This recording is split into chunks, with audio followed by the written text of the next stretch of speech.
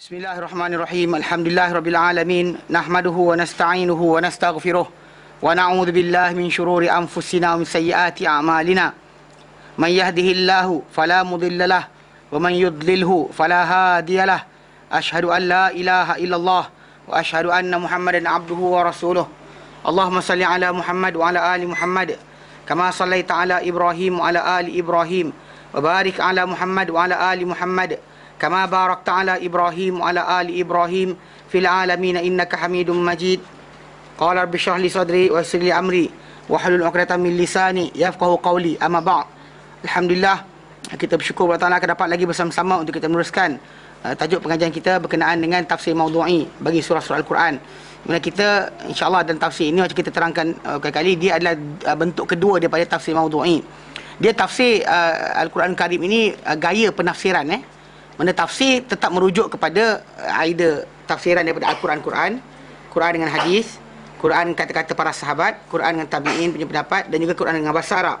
Tetap balik pada benda tadi tapi cara olahan cara gaya-gaya apa apa apa di, dipembentangkan tersebut maka dia ada tafsir apa apa tafsir muqaranah yang dibandingkan ayat ini dengan ayat yang lain untuk tajuk hukum. Ada tafsir apa apa dia kata apa tafsili mana perincian-perincian Al-Quran ikut surah-surah tertentu dan sebagainya. Apa tapi itu dia bukan the whole context of surah tersebut. Tapi dia akan tumpu pada ayat pertama sampai ketiga apa Allah ceritakan apa apa ayat lima ke enam dan seterusnya. Itu cara-cara tafsir dalam Quran Karim. Dan tafsir maudhu' ini kita kata dia berdasar pada title atau tajuk. Dia maudhu' dalam bahasa Arab eh, maksud dia tajuk eh title atau tajuk. Dan memang kita sebut tafsir berdasar pada tajuk maka orang akan nampak bahawa title ataupun apa keseluruhan apa yang ada dalam surah tersebut akan dibincangkan. Dan uh, kita nyatakan bahawa bentuk ini yang diterima pakai. Dan buku untuk tajuk ini hanya keluar macam saya terangkan itu pada tahun 2010 uh, yang komplit adapun yang bentuk pertama itu uh, wanita dalam al-Quran. Kumpulkan al-Quran tentang wanita kemudian bahaskan dan sebagainya.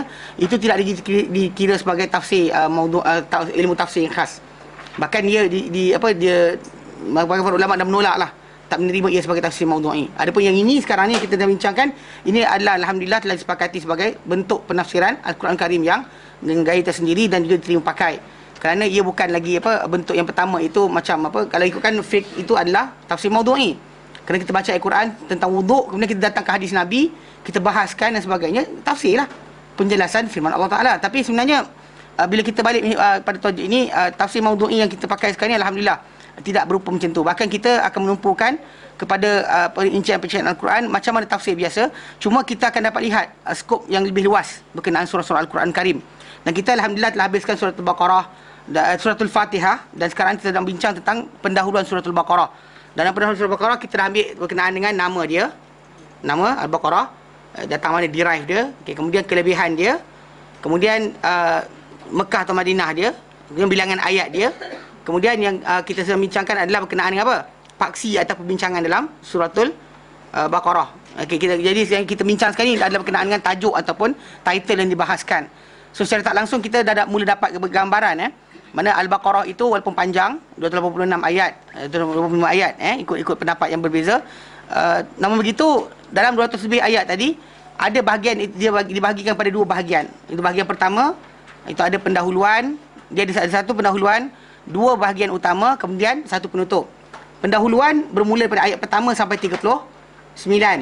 Kita terangkan hari itu dalam dalam mukadimah eh. Kita bahaskan mana 1 sampai 39. Itu dalam ayat berkenaan Allah Taala bahaskan berkenaan dengan hidayah Al-Quran. Ayat muka 29, 30 yang tu. Ha kes tu eh. Jadi mana Allah Taala dah bahaskan apa kita Allah Taala terangkan ke situ itu pertama dari ayat pertama sampai ayat ke-39 tu kita baca dan kita perhatikan ia merangkumi berkenaan hidayah Al-Quran kedudukan manusia dengan hidayah Al-Quran kemudian peletakan uh, manusia sebagai khalifah ataupun penguasa di muka bumi ini. Uh, ini diterangkan dalam dalam, dalam Al-Quran Karim. Mana sampai? Lepas tu kemudian uh, start daripada ayat yang ke-40 sampai 167 167 lebih kurang. 63 eh nombor uh, 163 62 eh. Mana 40 sampai 162 ia membincangkan berkenaan dengan tajuk besar dia kenapa Bani Israel layak ditarik daripada mereka penguasaan? Sedangkan Allah Taala beri mereka macam-macam kenapa tak tarik balik. Itu yang kita bacakan pada minggu yang uh, minggu lalu. Tak ada kan? Minggu sebelum. Ah ha, minggu sebelumnya. Yang mana kita kata minggu sebelumnya kita dah bahaskan uh, tentang tajuk ni. Mana kita sedang sedang bincangkan berkenaan bahagian isi kandungan bahagian pertama tentang suratul Baqarah. Itu uh, ayat 40 sampai 162. Itu dalam ayat berkenaan dibahaskan tentang kenapa Bani Israel layak ditarik daripada mereka penguasaan. Kenapa Allah Ta'ala tarik? Sedangkan dahulu Allah Ta'ala bagi macam-macam. Dia mesti ada reason kenapa mereka tak, di, tak diberikan lagi keistimewaan yang sama. Kerana Allah Ta'ala bila dah berikan satu kebaikan pada makhluknya, dia takkan tarik mereka dengan sebab. Dia takkan tarik benda tersebut dengan sebab yang tertentu. Dan sebab tersebutlah kita umat Islam kena pelajari dan fahami agar kita tidak apa tidak tersilap dan terkena perkara yang sama. Dan dalam tajuk tersebut 40 sampai 130 uh, 162 itu uh, Allah Taala jadikan bahagian tersebut akan kita baca eh. Para ulama dapati kat situ ada satu pendahuluan dan empat isi empat isi. Satu pendahuluan itu adalah ayat yang ayat yang apa 40 sampai yang ke 40 uh, 48 iaitu berkenaan dengan pendahuluan itu Allah Taala ungkit daripada Bani Israel apa anugerah Allah Taala beri mereka. Itu kita dah baca eh. Kemudian isi empat isi tersebut yang Allah Taala sebut pada kita untuk kita ambil pengajaran adalah pertama keadaan Bani Israel bersama Musa alaihissalam. Ayat 49 sampai 70 Sembilan. Di situ tengok macam mana dia punya relationship mereka dengan Musa AS. Musa beri Musa menjadi panduan untuk mereka. Tapi kenapa mereka sering? Uh, apa mereka balas pada Musa AS dengan jasa Musa yang banyak pada mereka. Ini jasa Musa AS pada mereka ni kita kata tak ada tak ada tandingan sebenarnya. Bahkan kita kata besar. Menyelamatkan bukan setakat seorang. Satu kaum yang besar daripada daripada apa? Daripada penyiksaan dan sebagainya. Kemudian ayat 75 sampai 123 Allah terangkan isi kedua. Mana bahagian apa? Mana bahagian dengan Yahudi ini uh, yang sezaman dengan Nabi Muhammad SAW. Apa perangai mereka? Apa mereka buat? Adakah mereka tahu Muhammad ini Rasulullah? Ada, atau mereka sembunyikan kebenaran yang telah mereka ketahui? Itu 75 sampai 123. Kemudian uh, dalam yang yang apa yang apa yang seterusnya uh, 124 sampai 141 adalah bahagian ketiga eh isi kandungan apa bahagian pertama surah al-baqarah adalah uh, apa dakwaan uh, dakwah Ibrahim alaihissalam dan membebaskan Ibrahim daripada uh, apa apa kata apa dakwaan-dakwaan yang disangka oleh orang-orang terdahulu baik di kalangan ahli kitab maupun golongan musyrikin. Allah bersihkan Musa alaihissalam daripada sebarang dakwaan mereka buat. Maka Allah terangkan daripada ayat 1 sampai 124 sampai 141. Dan kemudian ayat 142 sampai 162 itu adalah peralihan kiblat. Itu bahagian keempat eh. Isi kandungan bahagian pertama surah Al-Baqarah iaitu peralihan kiblat dan kepimpinan dalam agama kepada uh, ni apa daripada umat terdahulu kepada umat penghulu sekalian para anbiya itu Muhammad sallallahu alaihi wasallam. Itu kandungan yang ada kita lihat. Dan, serah, dan, dan bila kita baca Al-Baqarah tu, kalau kita sampai bahagian itu kita akan nampak kenapa daripada satu ini dari satu kisah atau lompat pada kisah yang lain. Lompat kisah yang lain. Dia tidak random sebenarnya. Bukan random. Manakala kita kata kalau kita baca memanglah kita tak faham kita akan random. Itu sebab kenapa tajuk ni bila orang hafal Quran dan tahu pengertian dia, dia tak kisah baca Quran banyak. Tapi kalau dia kata orang tak hafal Quran, bagi dia baca surah banyak, asyik. Mudah dia macam dia itulah seronok baca tapi tidak ada ada ada sebarang apa tadabbur. Sebab kenapa kadang kita lihat eh mana kita kata kalau kalau apa di, di tanah Arab dan sebagainya kalau memang kalau apa Ramadan mereka solat apa apa uh, solat malam tu mereka boleh baca panjang-panjang. Satu rakaat tu boleh panjang sebab antara dia sebab mereka faham dan juga mereka kalau yang hafal lagi lama mereka berdiri tak ada masalah. Maka ulangan dia seronok. Sebab dia mendengar bacaan tu dia tahu selepas ni apa lepas ni apa. Dia akan menanti-nanti untuk mendengar apa yang berikutnya. Adapun orang-orang yang tak tak hafal Quran, dia mungkin kurang sikit merasai kemanisan tadi. Tahan-tahan tapi sebab apa? Takkanlah aku tak tahan. Dia akan pujuk hati dia dengan macam tu. Sedangkan orang yang yang memang faham dia akan flow Quran tadi dia boleh berdiri lama. Tu beza dia sebenarnya. Jadi secara asasnya kalau kita kita apa nakkan apa apa perasaan yang sama memang kena hafal lah. Cuma pelan-pelan lah sikit-sikit lah. Jangan kata tak boleh langsung. Ni kadang umat Islam kita ni macam saya kata itu sering me, apa, menya, apa mendahului takdir. Tak dan takdir cakap apa-apa, dia dah kata tak tak tak layak, tak mampu, tak larat dan sebagainya. Eh, kita tak tahu sebab pasal memang zaman kita sekarang ni adalah zaman di mana banyak fitnah eh. Ujian Allah Taala berikan macam-macam, astro 24 jam, kan televisyen 24 jam kan. Dia actually benda ni betul saya macam baru ni kita bincang sahih Muslim kan. Nabi kata bari bila amal. Mana bersegeralah kamu beramal, itu amal soleh. Uh, uh, ni fitanan, fitan. Sebelum datangnya fitnah-fitnah, kaki ta'in laili muslim seperti malam yang gelap, malam gelapisan malam yang gelap. Maksud dia cepat buat amal sebelum datangnya fitnah-fitnah yang akan menyebabkan kamu para ulama kata uh, tersekat daripada beramal. saya perhatikan macam saya sebut dalam apa kita bincangkan uh, ringkasan saya muslim hari tu mana kalau orang yang lahir sekarang ni dia tengok dia tak nampak tapi siapa yang lahir 80-an 70-an kan dia besar tahun 80-an dia akan nampak sebenarnya bila televisyen hanya apa sampai pukul 12 berhenti pukul 6 pagi baru start balik kan dah tak ada cerita daripada telenovela cerita apa paling-paling pun cerita Jepun apa Memory Attack ha, itu dah paling best tu Oshin ke dia dia tak banyak tau. Jadi tak ada option banyak. Zaman sekarang ni dengan option yang banyak. Orang tak suka ini lompat ini. Orang tak suka ini lompat ini. So variety of apa benda ni tadi menyebabkan masa kerja pendek. Nak baca Quran pun pendek, nak hafal Quran pun pendek. Tak pernah rasa ada masa. Tapi rasanya 24 jam juga. Orang dulu 24 jam, kita 24 jam. The cycle is the same. Tapi kenapa orang boleh kita tak boleh? Ha, antara punca dia mainan tadi. Banyak sangat mainan. So kita yang ini sekarang ni akan datang lagi teruk. Akan datang lagi payah, lagi susah, lagi berat. Mereka kalau orang terdapat uh, okey dalam satu peringkat ni, ush, semakin waktu jaga. Hebatnya orang ni akan keluar macam tu. Mungkin sekarang ni kita dah, dah tak nak, mungkin satu peringkat nanti akan datang balik. So bahaya sebenarnya. Perhatikan jadi kita dapat lihat macam mana Allah Taala jadikan apa aturan eh aturan uh, umat Islam ini kalau kita perhatikan Al-Quran apa Al-Baqarah ni dia kena pengajaran.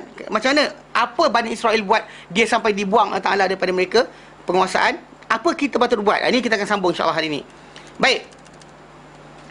Muka surat 31. Paksi kedua. Paksi kedua. Itu bahagian kedua lah maksud dia. Bahagian yang akan apa? Uh, apa uh, yang kita kata the first half of Al-Baqarah itu uh, sampai juzuk yang pertama eh. Sampai ayat apa dalam dua muka surat lepas juzuk pertama tu. Uh, di situ kita akan nampak poin yang diterangkan dalam buku ni. Maksud dia pendahuluan berkenaan dengan first ada pendahuluan tentang hidayah Quran, kemudian ada part berkenaan kenapa Bani Israel ni Allah Ta'ala cabut dari mereka khilafah. Sebab sebelum kisah Bani Israel, Allah Ta'ala cerita tentang Adam. Kan kisah Adam kan? Ini ja'ilun fil ardi khalifah. Kau tak terangkan betul. Lepas tu kisah apa? Lepas apa kisah Adam tiba-tiba Ya Bani Israel adhkuru ni'mati allati an'amtu alaikum. Mana maksud dia? Ada ada link sebenarnya. Kenapa mereka start dari sini Allah Ta'ala dah terang tentang mereka. Kenapa kisah Ibrahim diceritakan. Kenapa tentang kiblat diterangkan, di-highlightkan. Allah Ta'ala kata orang-orang diberikan kitab tahu kiblat ni akan beralih. Itu kita akan bincang insya-Allah bila dah sampai peringkat ni kita akan belajar macam ni. Nanti ayat 1 sampai 39 kita ambil. Lepas tu 40 sampai 48. Kemudian kita akan ikut macam sequence yang kita baca tadi. Yang kita lihat dalam pendahuluan ni. Baik. Paksi kedua. Bahagian kedua eh. Nilai-nilai melayakkan umat Islam untuk penguasaan dan khilafah. Nilai-nilai yang melayakkan umat Islam untuk pengurusan, pengurusan dan juga khilafah. Apa yang akan menjadikan kita ini layak untuk mentadbir alam ini? Apakah benda yang akan menyebabkan kita ini menjadi orang-orang yang Allah Ta'ala pilih bagi meneruskan apa tanggungjawab yang dibawa oleh uh, Adam AS. Yang kita kata bumi tak nak tanggung, gunung tak nak tanggung. Okey, semua tak nak tanggung. Tak, ni, tak nak tanggung. Apakah benda tanggungan tadi? Dan tanggungan tadi, apa yang melayakkan kita untuk tanggung uh, bebanan berkenaan? Jadi kita kata, uh, dan, dan tajuk ni, dia kata apa? Berkata pengarah-pengarah buku kita, Beralih perbincangan dalam paksi kedua untuk berucap kepada orang beriman pula. Tadi dah bincang berkenaan dengan golongan Bani Israel apa Allah Taala kata, kata kepada mereka. Start dalam yang ini pula, Allah Taala akan mula apa? Ya ayyuhalladzina amanu. Ya ayyuhalladzina amanu. Hari tu ya Bani Israel. Sekarang ni ya ayyuhalladzina amanu. Allah Taala mula tujukan ucapan kepada orang-orang yang beriman. Menanggungkan mereka dengan uh, mereka bagi memikul amanah teragung di alam semesta. Mana untuk menanggungkan mereka? apa bawa mereka boleh untuk menanggung memikul amanah teragung eh, di alam semesta. Dan telah berperingkat-peringkat keratan ini dalam berucap kepada orang Islam secara peringkatan yang bijaksana. Memang cukup bijaksana dia kata. Kita akan mengetahuinya dengan meninjau keratan-keratan paksi ini. Tengok paksi-paksi dia apa yang datang kita akan nampak macam mana Allah alihkan first, second, third dan berikutnya.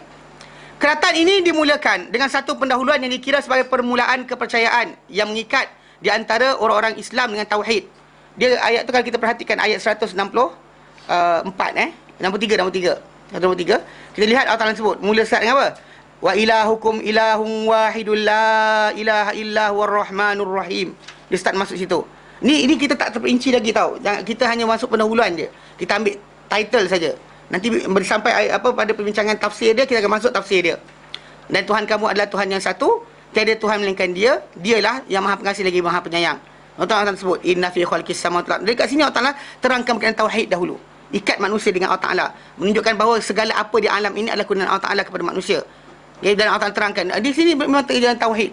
Ya, sehinggalah sampai pada peringkat yang uh, sampai 100 ayat uh, ayat 100 60 uh, 160 apa 60 uh, okey ah 160 uh, 176 uh, 77 177 uh, start situ bawah tak start laisal bir eh okey kalau dia kata kita balik pada sini saya ada saya ada ayat berkenaan dengan haram bangkai dan sebagainya okay, kenapa dia kata di antara ayat berkenaan start daripada ayat 163 sampai 177 tu dia kata apa keratan ini dia kata uh, dia mula uh, dimulakan dengan satu pendahuluan yang dikira sebagai pembukaan kepercayaan yang mengikat di antara orang Islam dengan tauhid Kemudian ia membicarakan mengenai pembersihan tata cara penerimaan kepada Allah Ta'ala Tuhan sekalian alam. Mana untuk menerima ni, dari Allah Ta'ala macam mana cara dia.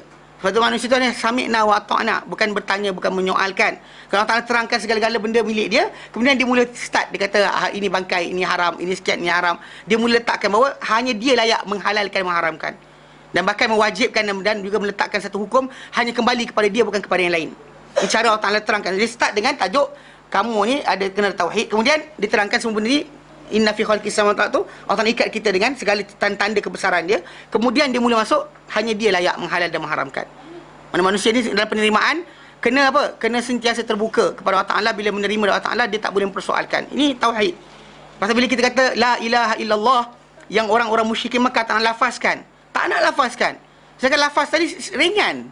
La ilaha illallah. Tapi mereka tak nak lafazkan kenapa? Sebab benda tu ada tanggungjawab. Di dalam lafaz tersebut ada tanggungjawab. Yang sama bapa saudara Nabi SAW sendiri pun nak lafazkan pun malu. So apa sebab kalau dia kata ikutkan bila bila yang yang lafaz terakhir dia kata apa? Aku di atas agama atuk nenekku, aku di atas agama datuk nenekku. Kalau ikut logik macam mungkin boleh kena, tak? Lafaz la Allah tadi yang Nabi kata nak laf- sebut juga la ilaha illallah tadi. Sebab apa? Sebab pengisytiharan itu adalah pengisytiharan yang yang yang yang apa? Dikata complete. Mana bila orang tersebut tiada Tuhan Allah Ta'ala, maksud dia apa? Dalam pensyariatan, dalam perundangan, dalam kehidupan dia, dalam masalah kahwin, nikah kahwin dia, dalam masalah cerai berai dia, dalam masalah pemakanan dia, semua sekali balik kepada siapa? Allah. Di sini masalah. Kerana orang musyrik Mekah dahulu, mereka kadang-kadang ada certain, orang kata apa, arahan dan juga peraturan, dibuat oleh atuk nenek dia. Dia sayang benda tu ditinggalkan. Takut nanti bila datang Muhammad SAW, batalkan benda tu, tak ada lagi nama, Ah ini kita buat kerana kabilah sekian. Ini kerana kabilah sekian. Ini atuk sekian yang buat. Jadi dia dia mereka nakkan kebanggaan tadi. So la ilaha illallah tadi tak boleh tertegak dengan adanya apa? Jahiliah. Dia tak boleh serentak. Tak boleh orang tu kata Tuhan Allah Taala tapi atuk aku pun betul juga. There's no such thing. Tak boleh kadang-kadang la ilaha illallah disebut tak boleh digandingkan dengannya sebarang sebarang kepercayaan yang lain.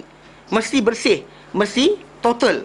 Itu sebab dia kata itu itu tata cara, prinsip penerimaan kepada Allah Taala. Macam mana orang tu boleh kata Allah tapi dia tak nak terima perintah Allah. Dia kata Tuhan bukan Allah. Tapi bila Allah Taala perintahkan, tapi Allah. Ha, nampak? Yang sekarang sering berlaku kan? Ha, ini dia kata jadi maksud dia bagi seorang yang nak menerima, nak menjadi khali, apa apa orang yang menerima perintah dia macam mana Adam terima dahulu dan juga para anbiya semua terima, dia nak jadi khalifah.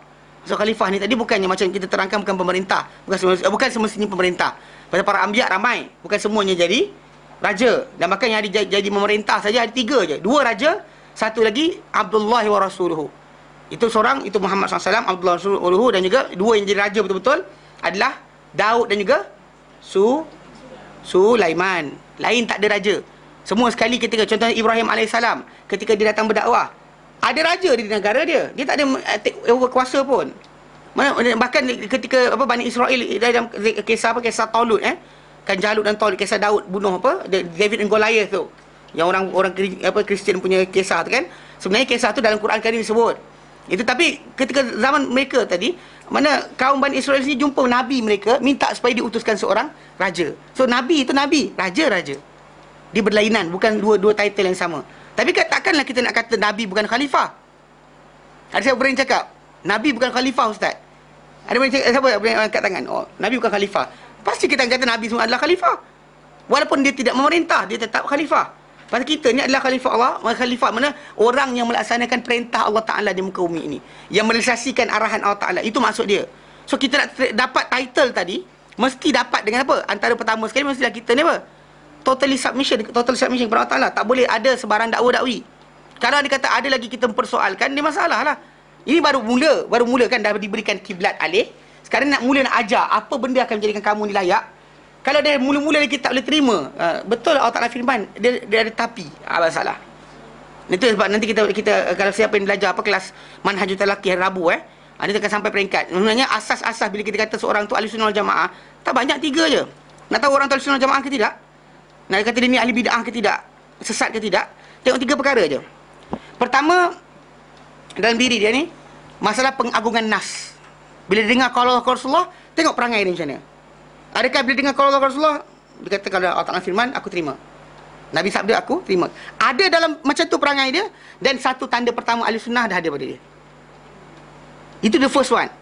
The second one is actually uh, apa uh, dia memastikan kesahihan nas tadi. Kerana memang para sahabat sendiri pun perangai mereka macam tu. Macam Umar pernah sekali kan bila Abu Musa al-Ash'ari uh, minta izin pada dia nak jumpa. Bagi salam. Assalamualaikum. Dia bagi salam. Kalau kita Melayu panjang sikit. Assalamualaikum kan. Dia tak. Assalamualaikum. Dia bagi salam. Sekali. Kemudian bagi salam dua kali. Bagi salam tiga kali. Umar tak keluar. Dia pun lari. Dia pergi. Bila dia pergi, Umar lepas tu keluar. Umar kata, Umar kata aku dengar suara Abu Musa tadi mana tak ada sekali. Dia jumpa Musa dia kata aku dengar suara kau tadi. Kau datang rumah aku ke? Musa kata dia kata ya. Tapi asal kau lari?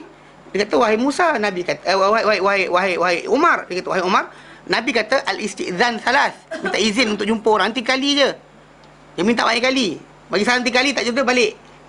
Kan? Jadi Umar kata apa? Either kau datangkan dua saksi kau atau kesebat kau.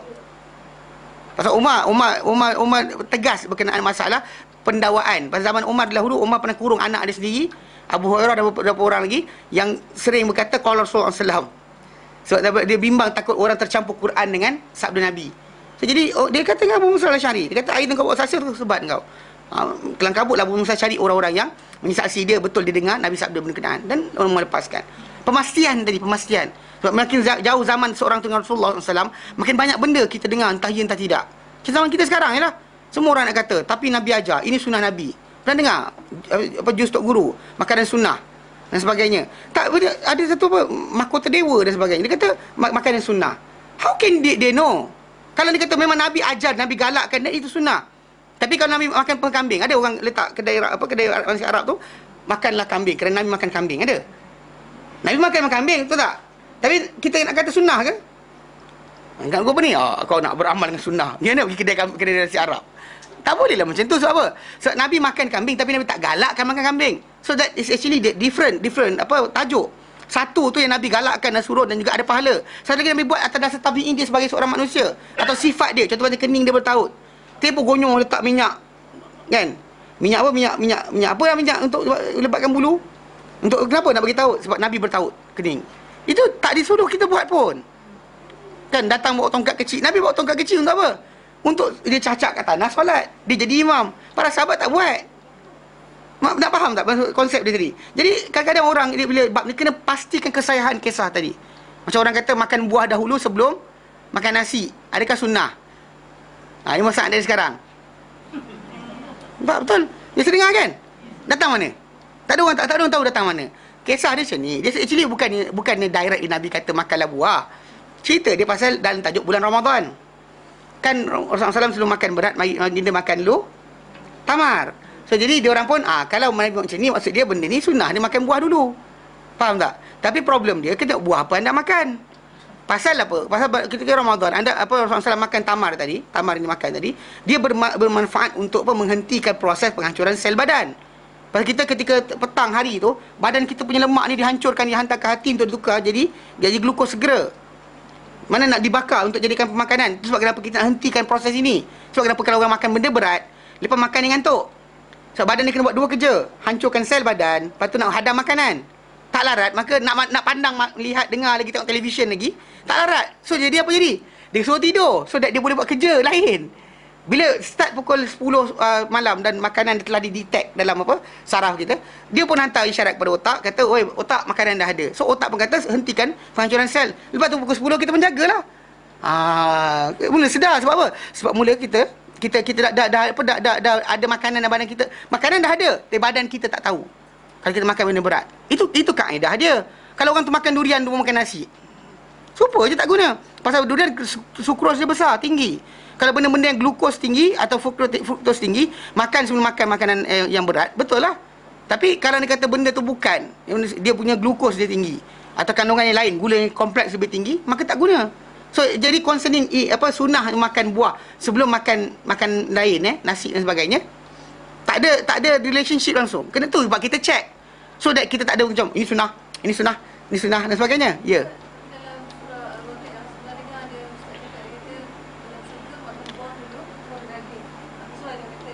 Allah Ta'ala sebut Allah Ta'ala tak kata makan apa dulu Bahkan kalau ikut dalam hadis Nabi SAW Bila ditanyakan oleh oleh salah seorang Yahudi Dia tanya Nabi Apakah makanan permulaan ahli syurga Dia Nabi kata Ziyadah kabil hud Lebihan hati ikan Hati ikan buah ada kaitan Tak ada dalam hadis Nabi SAW memang disebut apa, Bila ditanya oleh kepada Nabi SAW Tiga perkara Tentang bila dunia ditukar dunia lain Langit tukar langit lain Manusia duduk kat mana Kemudian berkenaan dengan apakah makanan pertama ahli syurga. Kemudian apakah apa apa, apa tentang anak. Ini dalam sahih Bukhari sahih Muslim. Jadi tentang makanan pertama ahli syurga Nabi sebut lebihan hati ikan. Nabi tak kata berkenaan dengan tak tak tak tak, tak apa apa tak teli. Kisah tadi tak teli dengan apa apa yang Nabi sabdakan. Patut makan buah dulu ah. Ha? ini ini permulaan dia panggil apa? Apakah tuhfah makanan permulaan bagi ahli syurga? So, jadi bila Nabi jawab pada pada Yahudi berkenan bila dia kata Nabi jawab dia kata apa? Betul. Dia benar, dia benarkan Nabi. Bahkan ada kata yang yang soal-soalan itu ada Abdullah bin Salam. Dia masuk Islam selepas itu. Nabi jawab berkenaan makanan pertama ahli syurga adalah benda berkenaan tak ada pun sebut buah-buahan. Allah Taala sebut mereka akan makan apa, tapi tak kata mereka makan ikut sequence. Faham tak? Dia ada ada faham tak ada perbezaan masalah benda tersebut apa mereka akan makan bukan apa apa yang akan hidang untuk mereka dengan masalah sequence makanan mereka. Faham tak? Sequence. Which one dia makan dulu. Tak ada. Kalau ikut hati, dalam hadis Nabi SAW, memang berkenaan. Contoh macam ni. Ya, tunjuk juga. Tak tunjuk itu kan masalah. Macam kata ustaz ni, dia mendakwa saja. Okey. Kan? Dah betul zaman zaman sekarang ni kita kata saya tak nafikan betul banyak ramai orang suka cerita tapi benda tu reference tak ada. Okey, eh. Mana pula pergi?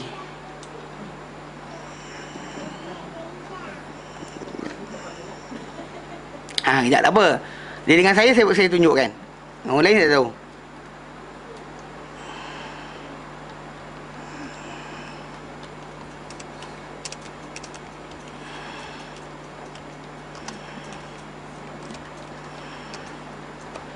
Contoh ni.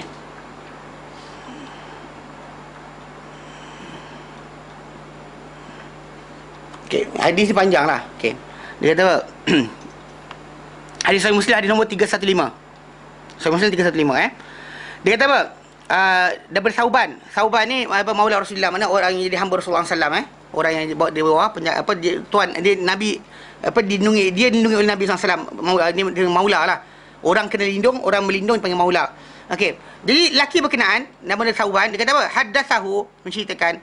Qala qala kuntu qa'iman inda Rasulillah. Aku dahulu berdiri di sisi Rasulullah SAW di sisi Rasulullah SAW faja'a hibrun min ahbaril yahud. Lalu tentang Nabi aku duduk dengan Nabi SAW tiba datang seorang pendeta dia kan pendeta-pendeta Yahudi.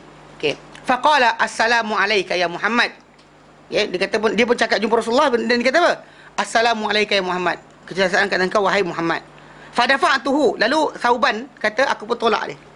Bila lelaki datang bagi salam macam tu dia tolak. Lalu kada yusra'u minha. Lalu hampir dia jatuh dengan sebab tolakan aku tu.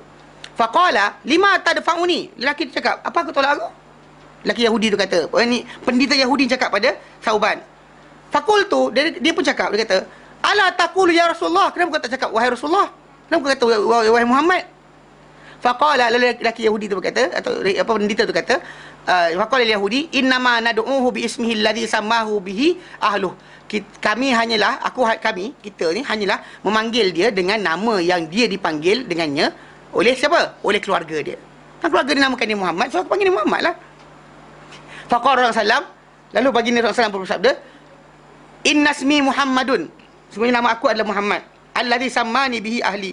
Yang itulah nama yang dipanggil aku dengannya siapa? Oleh keluargaku faqala yahudi berkata yahudi tu jitu as'aluka aku datang nak tanya kau soalan. As'aluka aku datang untuk bertanya kepada engkau.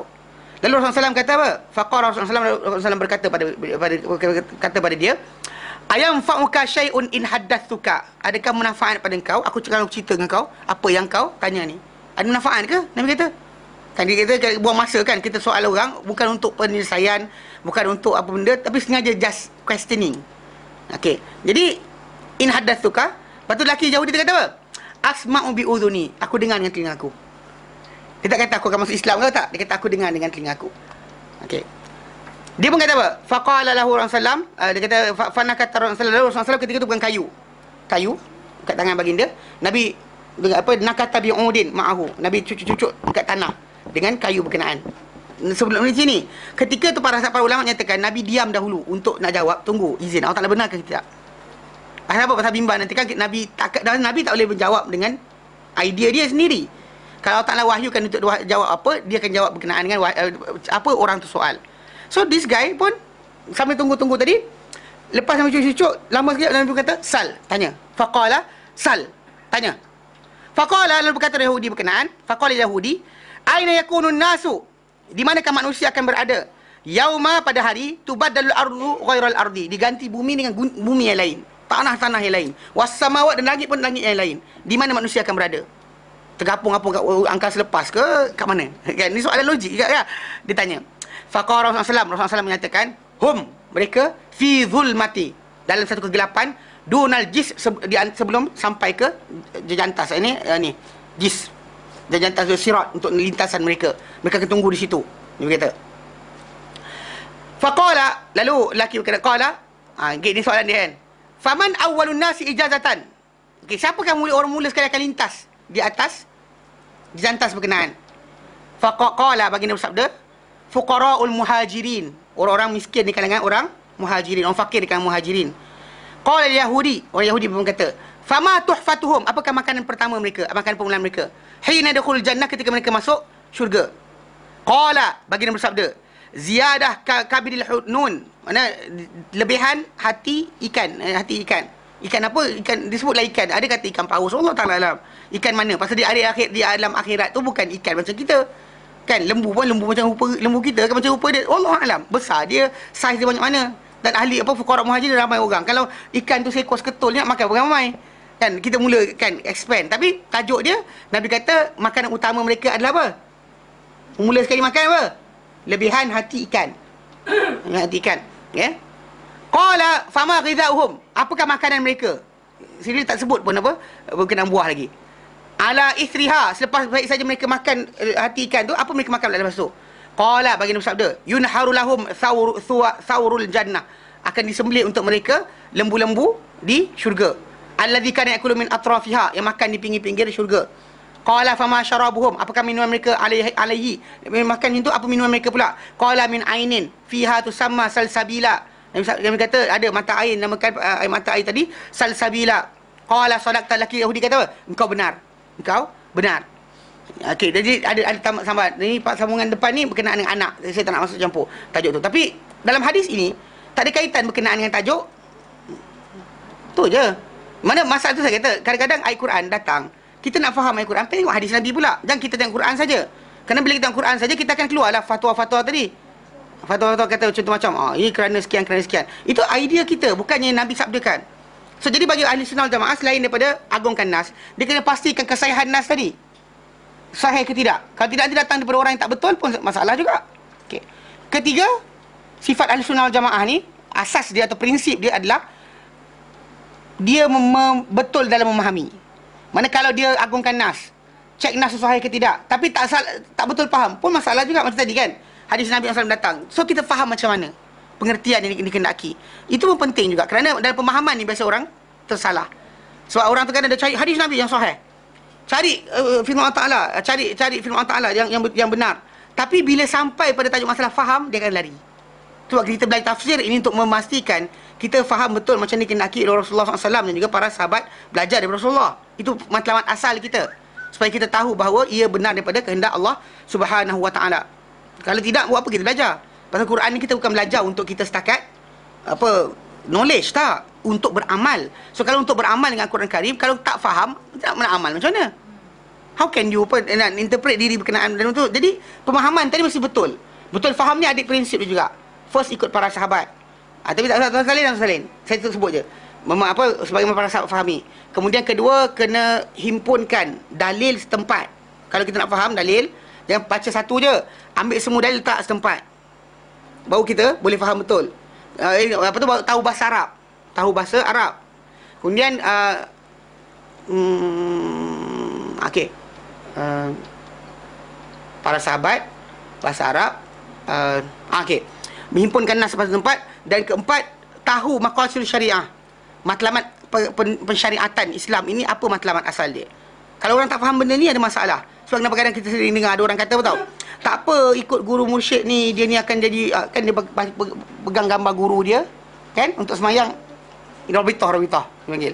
Pandang muka guru Allahu Akbar benda ni tadi kan kalau ikut logik dia orang kata lah mengingati muka pasal dalam hadis Nabi SAW ada Nabi kata uh, ada apa apa uh, orang-orang yang baik ni adalah orang yang bila kau pandang muka dia kau ingat Allah Ta'ala jadi dia kata pandang orang ni ingat Allah tapi problem ni bila guru dia mati dia ada masalah atau datang guru baru lagi baik wagus guru dia kan ada masalah kat situ konflik Ataupun contoh macam kita bergantung tentang jampi-jampi dan sebagainya.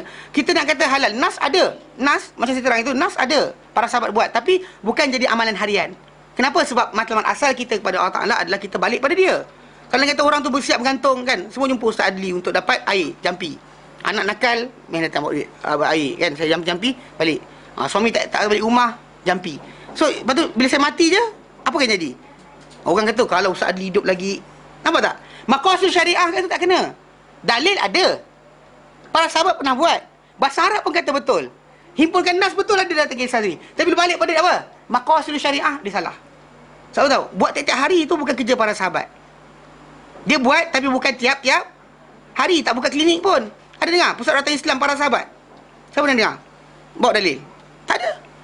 Tapi kita ni ada pusat rawatan Islam. Soalan, cakap macam menyindir tapi benda tu betul. Sebab kenapa bila orang tu nak faham betul nas, dia agungkan nas. Cari nas yang sahih. Nak betul faham, ha, dalam betul faham ni tadi kadang-kadang masih lagi terdivert. So ahli sunnah jamaah sebenarnya asas dia tiga tu tadi. Kalau kita nak tahu orang tu betul-betul ke tidak dia ni ahli sunnah, dengar dia bila kita baca kalau Rasulullah pandang kalau dia lari, dia dia macam tak boleh terima firman Allah Taala tadi, maka dia tak tak, tak, tak layak lah. Tak layaklah kita nak bercerita dengan dia. Kalau kita cerita, dia mungkin akan kufur dengan ayat tadi. Kita bimbang kita kata Allah, tapi lah Allah Taala kata, tapi tetapi lagi. So di situ kita kata dalam tajuk ni, dia kata apa? Sebab apa? Sebab dalam pengerengan dia kata apa? Kemudian dia membicarakan mengenai pembersihan tata cara penerimaan kepada Allah Allah Tuhan sekalian alam. Dan itu adalah dengan penjelasan bahawa dia sahaja, hanya dia sahaja yang bersendirian bagi penghalalan dan pengharaman. Untuk halalkan benda, haramkan benda hanya hak mutlak siapa? Allah, bukan hak mutlak kita. Bukan Allah Ta'ala kongsi. Tak ada siapa datang kemudian kata macam saya, yalah Allah Ta'ala katanya tu lain pun boleh juga. Ah, tak ada. Halal dan haram balik pada Allah Ta'ala sahaja. Allah Ta'ala tak benarkan satu benda, stop situ. Jangan kita mula masuk dan juga kita cuba kata tak apa, tak mengapa dan sebagainya. Kerana ini ini tata cara dia. Ini prinsip dia. Bila menerima Allah Ta'ala, antara awal dia apa? Sami'na wa ta'ana, tak ada dawi-dawi. Kalau dia kata kita start soal balik, dan ada masalah. Pasal kita nak ajar macam mana nak ajar? Potong tangan. Nak ajar suruh sebat orang berzina. Macam mana kita nak buat benda tu? Kalau ada kata yang ini awal ni pun tak, tak lepas lagi. Tu kadang-kadang bila zaman kita sekarang ni, bila ada orang bincang kenaan tajuk negara Islam dan sebagainya kan, sembang dengan saya. Ataupun pengkafiran seorang Muslim, kita kafirkan dia. Dengan sebab dia tolak hukum Islam. Saya kata zaman kita sekarang ada masalah. Antara sebab apa? Dalam pengkafiran seorang Muslim itu, nak dikafirkan, dia ada syarat pertama. Syarat pertama dia kenapa? Dia tahu apa yang dia buat. Dia tahu. Yang zaman kita sekarang ni mandi wajib pun sepuluh orang tak tahu lagi. Yang ada kawan di IJN ni kata apa? Orang tu jumpa makcik tu kat 50-an umur. Tak pernah mandi wajib. Sebab apa? Tak reti. Tak, tak semayang sebab tak mandi wajib. 50 lebih umur dia. Yang saya jumpa 20 lebih je. Tak tak ni lah. Dia jumpa 50 lebih. Tak pernah semayang. Sebab apa? Tak pernah reti mandi wajib. Bayangkan. Orang macam ni kita nak kata. Awak pun hukum Allah Ta'ala. Mana logik dia? Faham tak? So, cara asal pertama sekali kena dia tahu. Sebelum kita nak kufurkan dia, nak kata anda kafir. Kan? Kena dia tahu dahulu. Tapi kalau environment datang, petarung kopiah juga kata, tak apa sebenarnya. Dan kita ada cakap, pasal apa? Bagi dia, dah pecah dua. Dah pecah dua, bagi dia pada dua. Ni ustaz ni balik Yaman. Yang ini balik Mesir. Yang balik Yaman kata tak boleh. Yang balik Mesir kata boleh. Yang ini belajar. Uh, belajar uh, empat tahun. Ini belajar empat tahun juga. Yang ini belajar bahasa Arab, belajar bahasa Arab juga. Ini hafal Quran, hafal Quran juga. Sebagai orang awam apa jadi? Ha, jadi masalah lah tak boleh kita hukum orang. Asas pertama kenapa? Syarat pertama dia kena alim. Kena tahu. Jadi macam tu ya masalah kes ni. Bila dia tak boleh nak di, di, dihukum ke atas dia, apa lagi menerima tampuk khilafah. Tugasan khilafah tadi takkan layak. Sebab apa? Sebab dia awal-awal lagi dia tak reti. Dia tak boleh pasal Allah Taala nak apa nak apa manusia ni hanya boleh menerima bila dia apa? Dia layak. Layak untuk dia memerintah alam ni, dia boleh. Tapi dengan syarat apa? Dia kena dahulu menepati kriteria tadi. Bahkan para sahabat menepati tajuk ini. Kita lihat para sahabat kan contoh macam kita lihat. Rasulullah SAW wafat tahun ke-10 Hijrah, eh? Oh, uh, Abu Bakar pegang 2 tahun. Dah berapa? 12 tahun lah kita dah. Umar pegang dalam bukan 10 tahun. Pertengahan pemerintahan Umar tu, kita kata dalam apa uh, hijrah Nabi SAW dalam lepas hijrah tu dalam 17 tahun lepas hijrah. 17 atau 14 tahun. Kerajaan Rom dan Parsi jatuh. Mana tentera Islam dapat jatuh kerajaan Rom dan Parsi. Rom dan Parsi ni sebenarnya adalah satu empire besar yang kita zaman berkenaan mereka ni dah ada tamadun, ada bahasa, ada tamadun bahasa, ada, ada, ada apa sistem bahasa, sistem perundangan, sistem kehakiman, semua sekali. Sistem pentadbiran, kan ada kasta rakyat dia, aturan pengagihan ekonomi dia dan sebagainya, ada mata wang, mata wang. Mana mereka ni advance dalam berbagai sudut, ilmu dan sebagainya. Bagi tanya balik soalan, umat Islam jatuhkan mereka dengan apa? Apa mereka dapat? Sepanjang umat Islam pindah lepas pindah Madinah, badan makin besar ke? Dulu enam kaki jadi lapan kaki. Mereka makin apa teknologi apa teknologi yang ada? Ini kita bincang berkenaan zaman Andalus. Andalus jauh dah. Zaman Umar lagi.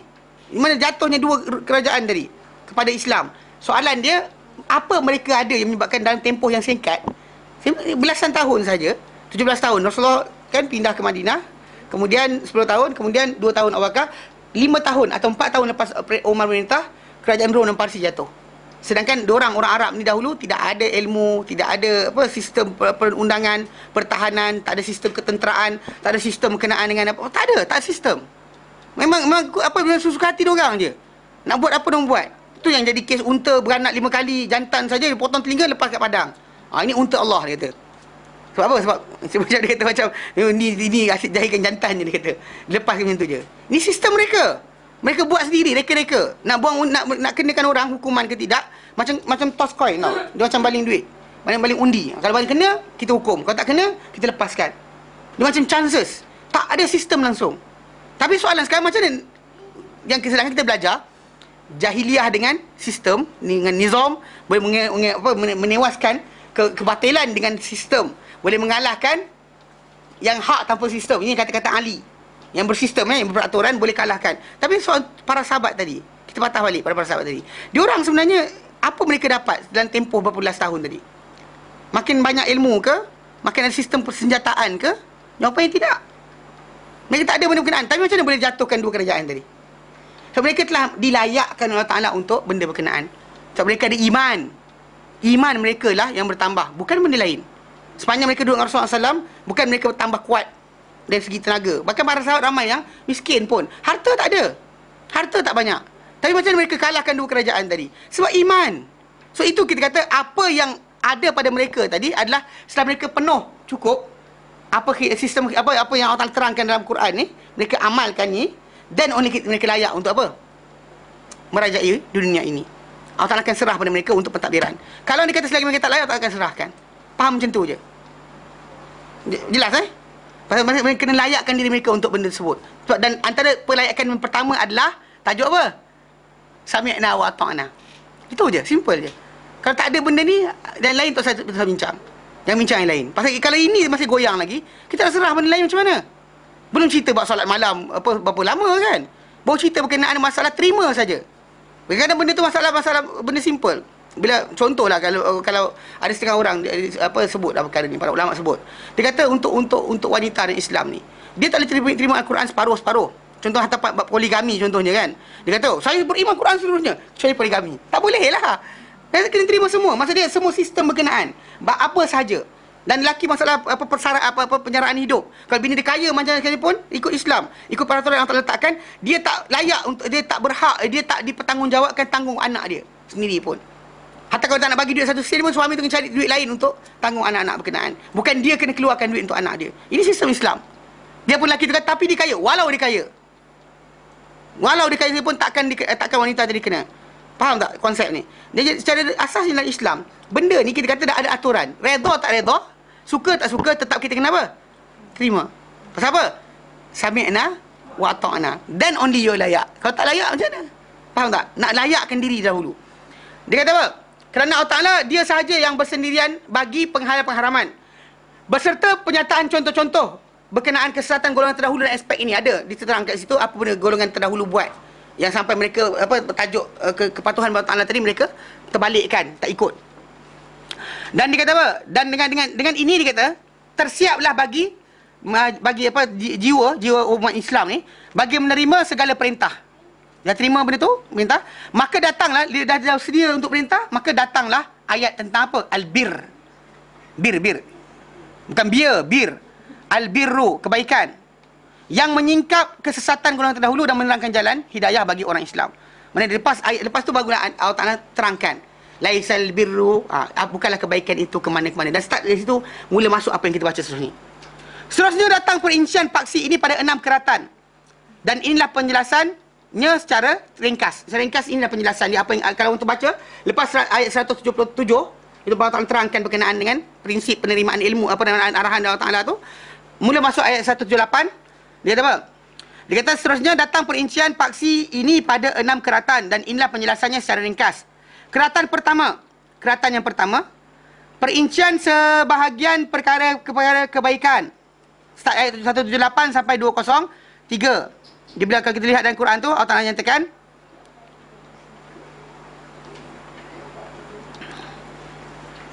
Allah Ta'ala start dengan apa? laisal birra bi laisal birra an tuwallu wujuhakum qibala al-masyriqi wal maghribi. Ha, bukanlah apa kebaikan itu akan menghadapkan wajah kamu ke arah timur dan juga barat. Walakinnal birra tapi kebaikan itu adalah man amana billah. Maksudnya dia macam bila tajuk kiblat tadi datang kan? First thing first ngadap kiblat tadi. Mana ngadap kiblat tadi sebenarnya? Masih lagi kosong sebenarnya kalau tidak ada iman kenapa ngadap ha, atuk kita hadap ah, tak ada dia masih balik apa kerana perintah Allah Subhanahu Taala sebab kenapa bagi seorang yang, yang mukmin ini untuk bina diri dia, eh, bina iman dia, dia kena belajar. Kenapa buat? Kerana Allah Taala perintahkan. Kenapa buat? Kerana Allah Taala perintahkan. Dan only dia boleh buka hati dia daripada daripada berdegil. Jika tidak akan timbul kenapa buat? Ustaz kata. Tapi orang datang. Tapi ustaz aku kata. Ah, ustaz ni kata lain, ustaz tu kata lain, orang ni kata lain. So fatwa banyak. Tapi kalau dia kata dia balik pada kenapa buat? Kerana Allah Taala perintahkan. Contoh macam wuduk. Paling simple lah wuduk. Kenapa kita buat? Kalau tak nak perintahkan Di mana? Ha, boleh diam Rasa-rasa ada dengar dia tu Tapi tak hafal Okey, tak hafal tak apa Tapi tahu tak ada ayat uduk Tahu kan? Surah Al-Ma'idah ayat ke 6 ha, kita, kita balik ke situ dan Hati kita lapang Bila kita ambil uduk tu kita tahu Kenapa buat ini? Kan kita tak, tak basuh tempat lain Kita kentut kat punggung Kenapa tak basuh punggung? Kenapa basuh-basuh tangan? Kan? Basuh muka Basuh sini sekian Yang keluarnya angin kat belakang Atau apa hal pula kena basuh tempat lain? Betul? Istinja, istinja adalah. Tapi kalau kita basuh punggung saya boleh kentut-kentut basuh punggung. Ada saya dengar ada ada orang macam tu. Dia jenis was-was, kuat. Sekejap dia masuk tandas. Kata kenapa kentut? Dia buat apa? Basuh punggung. Dia basuh punggung sekali kentut. Itu masalah juga. Saya ya, jenuh juga, jenuh kan. Kita kata ulang alik, ulang alik. Anyway, kalau ikut logik dia macam dia ni baguslah. Tapi sebenarnya Islam tak pernah ajar benda berkenaan. Bahkan pembersihan diri kamu daripada benda tersebut adalah dengan basuh muka dahulu, kemudian tangan hingga siku, sapu kepala dan juga telinga, kemudian basuh kaki. Habis. Itu cara Allah letakkan. Every time. Every time kita terkeluar daripada uh, tajuk wuduk ni tadi, wuduk kita terbatal, itulah cara dia. Dia cara mana sekali pun wuduk terbatal. Itulah cara dia untuk kita bersihkan balik diri kita. Tak ada cara lain. Mandi minyak, minyak pun tak boleh. Minyak wangi, walau minyak wangi pun tak boleh. Kalau alkohol, alkohol pun tak boleh. Kalau orang kata, tapi alkohol ustaz membersih. Walau alkohol orang kata, tetap guna air. Kenapa guna air? Allah Ta'ala perintahkan juga. Bila, bila kita kata secara asalnya, kenapa air digunakan bukan benda lain? Kalau ada kata, zaman tu dah bertukar, ada ada cair lain. Dia cair apa nama? Yang hand sanitizer tu, ah, lebih bersih. Ha, sapu batu badan.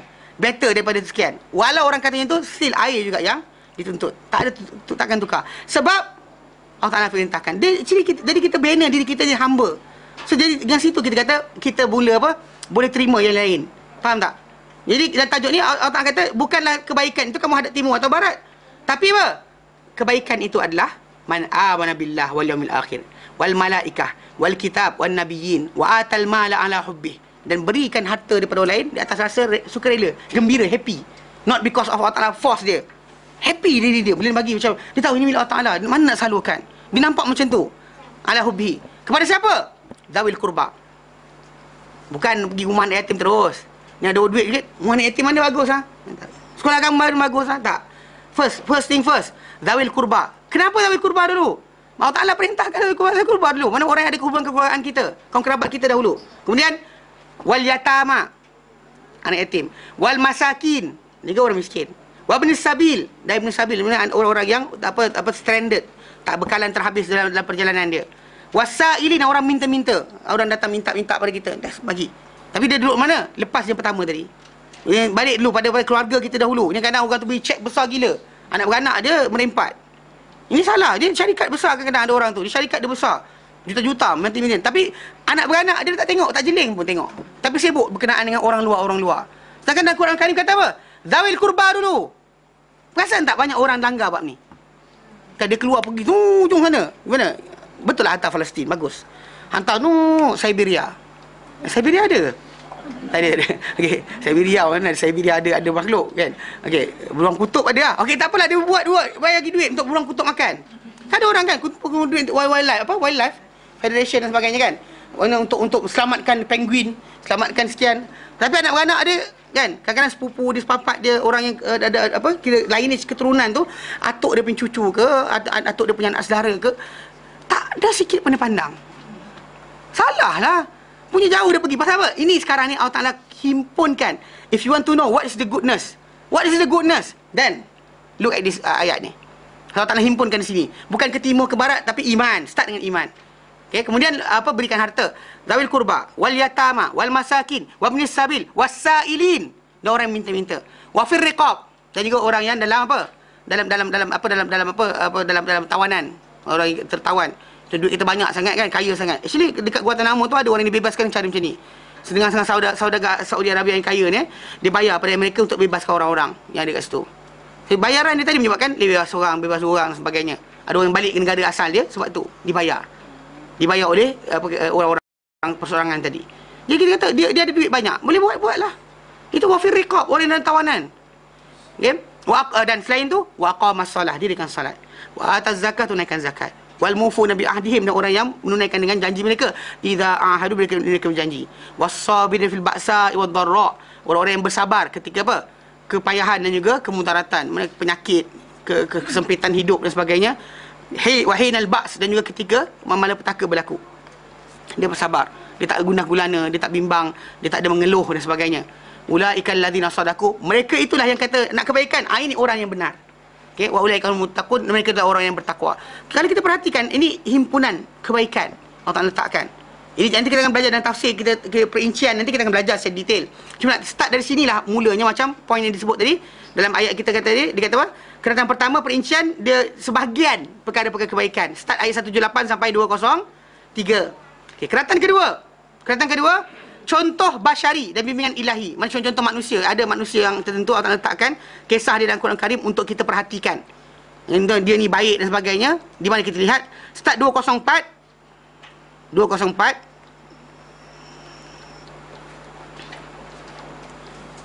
Ya. Sampai ayat yang ke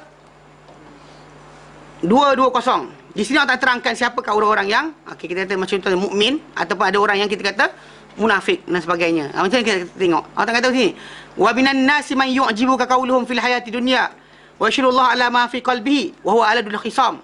Ha, di kalangan manusia ni ada orang yang kau rasa takjub dengan kata-kata dia. Okey? Hayat dunia ni tentang kehidupan dunia ni kan. Kadang-kadang motivator kan.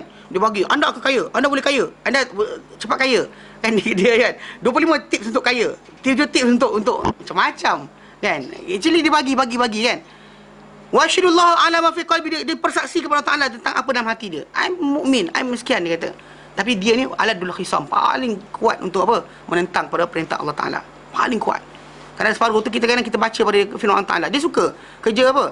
Ketahui tarikh dari, dari anda. Kita kata Allah Taala tak benarkan benda berkenaan. Bahkan manusia ni apa akan jadi dapat esok? Apa dapat esok tak tahu. Dalam Quran kata uh, di ayat terakhir surah Luqman. Allah kata apa? Wa ma tadri nafsum madza taksibu ghada. Dan tak tahu satu nyawa tu apa dia dapat esok. Ini ini ini clarification Allah Taala. Tapi ada orang kata awak sebab awak tak lahir tahun bulan sekian awak Virgo dan awak punya kerjaya adalah seriously kan Quran dah kata jangan janganlah kita datang juga masuk kan untuk yang menentukan kehidupan orang Ada macam dia kata tu UiTM punya tak tahu dia punya pangkat besar lah. Dia kata pada oh, ni budak yang datang mengajar ni dah praktikal. Praktikal mengajar ni ketika temu duga dah pergi dah dah ni dah, dah start mengajar dah. Tapi ketika temu duga dia kata apa? Awak tak layak jadi pensyarah sebab jari awak telunjuk ni pen, eh, panjang daripada jari manis. Sebab awak lebih apa? Bagaimana? Kromosom uh, Y dia kata. Jadi awak tak tak boleh awak patutnya jadi jadi apa jadi accountant. La ilaha illallah wa syarikalah. Siapa kita menentukan perkara tersebut? Kalau dia tak layak, tolak dia kerana ketidaklayakkan dia bukan sebab jari dia macam mana. Kan pandang-pandang tak layak kat sini. Oh tak boleh jadi kan. Terus kita tolak orang sebab tak lalat dia, sebab kening dia, sebab janggut dia. Oh janggut oh, tak boleh. Teroris. Ini dia macam US lah. Tengok-tengok ya. Hmm. Cara janggut tak boleh masuk. Teroris dia kata. Tak, tak pernah kenal orang tu pun. Mana ada Islam macam tu cara dia. So konsep konsep kita kata macam ni kan. Kalau kita bagi tahu ada dia degil. Dari bagi tahu pun dia macam tapi benda ni ada tapi lagi lah. Kita baca kalau Allah Rasulullah tapi lagi. Still ongoing dengan tapi. Bahaya. So jadi kat sini Allah Ta'ala berikan contoh-contoh manusia. Siapakah mereka? Ada, ada ni Allah Ta'ala ceritakan ada orang perangai macam ni, ada orang perangai macam ni. Ada yang baik macam ni, ada sekian macam ni. Dalam ayat tu start daripada ayat 2, 204 sampai 220. So ada contoh-contoh manusia basyari. Mana dalam apa nak bimbing kita ni betul, Allah Ta'ala kata jangan jadi macam ni. Jadilah kamu macam ni. Jangan ikut orang macam ni. Ini perangai ni tak senonoh. Ambil yang ini punya aturan. Allah Ta'ala berikan dua contoh. Yang macam ni dan macam ni. Yang A dan B. Yang baik dan juga yang buruk. Ketiga, keratan ketiga, perincian hukum-hukum kekeluargaan. Ayat 221 sampai 242. 221 sampai 242. Kalau kita lihat 221, dia mula dengan tajuk masalah uh, cerai lah. Ini tajuk kat sini eh. 221. Okey, 221. Oh kan? Dia start dengan tajuk haid. Start dengan tajuk haid. Mana tentang haid? Kitaran apa? Apa menstrual uh, circulation. Okay, apa, apa cycle eh, untuk wanita. Pada wanita ada kaitan tajuk kekeluargaan. Pasal suami, apa apa orang yang berkeluarga, uh, suami isteri itu akan timbul tajuk dengan masalah ini. Antara benda-benda ini. Start dari sini, sampai, sampai, ayat yang ke 242. 242. Dia sampai 242. Dan ni ada tajuk cerai, ada tajuk uh, berkenaan dengan apa, berkenaan dengan penyusuan, ada tajuk berkenaan dengan tajuk apa, uh, talak tu berapa, berapa kali untuk boleh rujuk balik. Macam sistem tu ada kat situ yang diletakkan oleh Allah Taala sampai 242 sampai 242 Ha, kan? ayat 2 tak 2 ayat 229 at-talaq marratan. Talak tu dua kali saja. Okey. Ini tajuk cerai cerai lah. Okey. Sampai 242 ni ada ayat yang ke 100 ayat yang ke 220 233 Allah nyatakan apa? Wal walatu yurdi'na auladahunna dan ibu-ibu yang ibu-ibu itu menyusukan anak dia haulaini kamilain. Dua tahun sempurna. Okey liman ara ayutim radhan siapa nak sempurnakan penyusuan maka sempurna dia dua tahun. Ya tapi ada orang tu dia gelajak ha, sampai anak terbesar dia, dia, dia nyusu lagi umur tiga tahun kan dia menyusu tak boleh lah. Ya pasal je stop situ eh. Dua dua sampai dua empat kosong.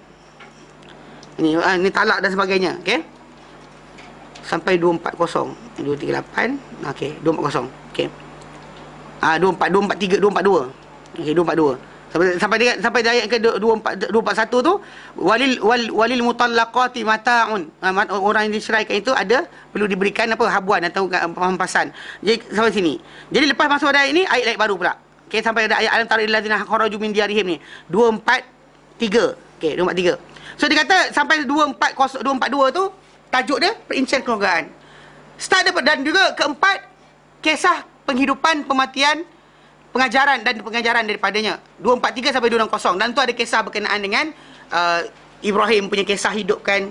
Kan dia minta ya Allah nak lihat apa macam hidup dengan mati. Kemudian ada kisah satu kaum daripada Israel ini keluar. Keluar untuk pergi perang. Dia takut nak mati sangat. Dan saya tak nak matikan mereka.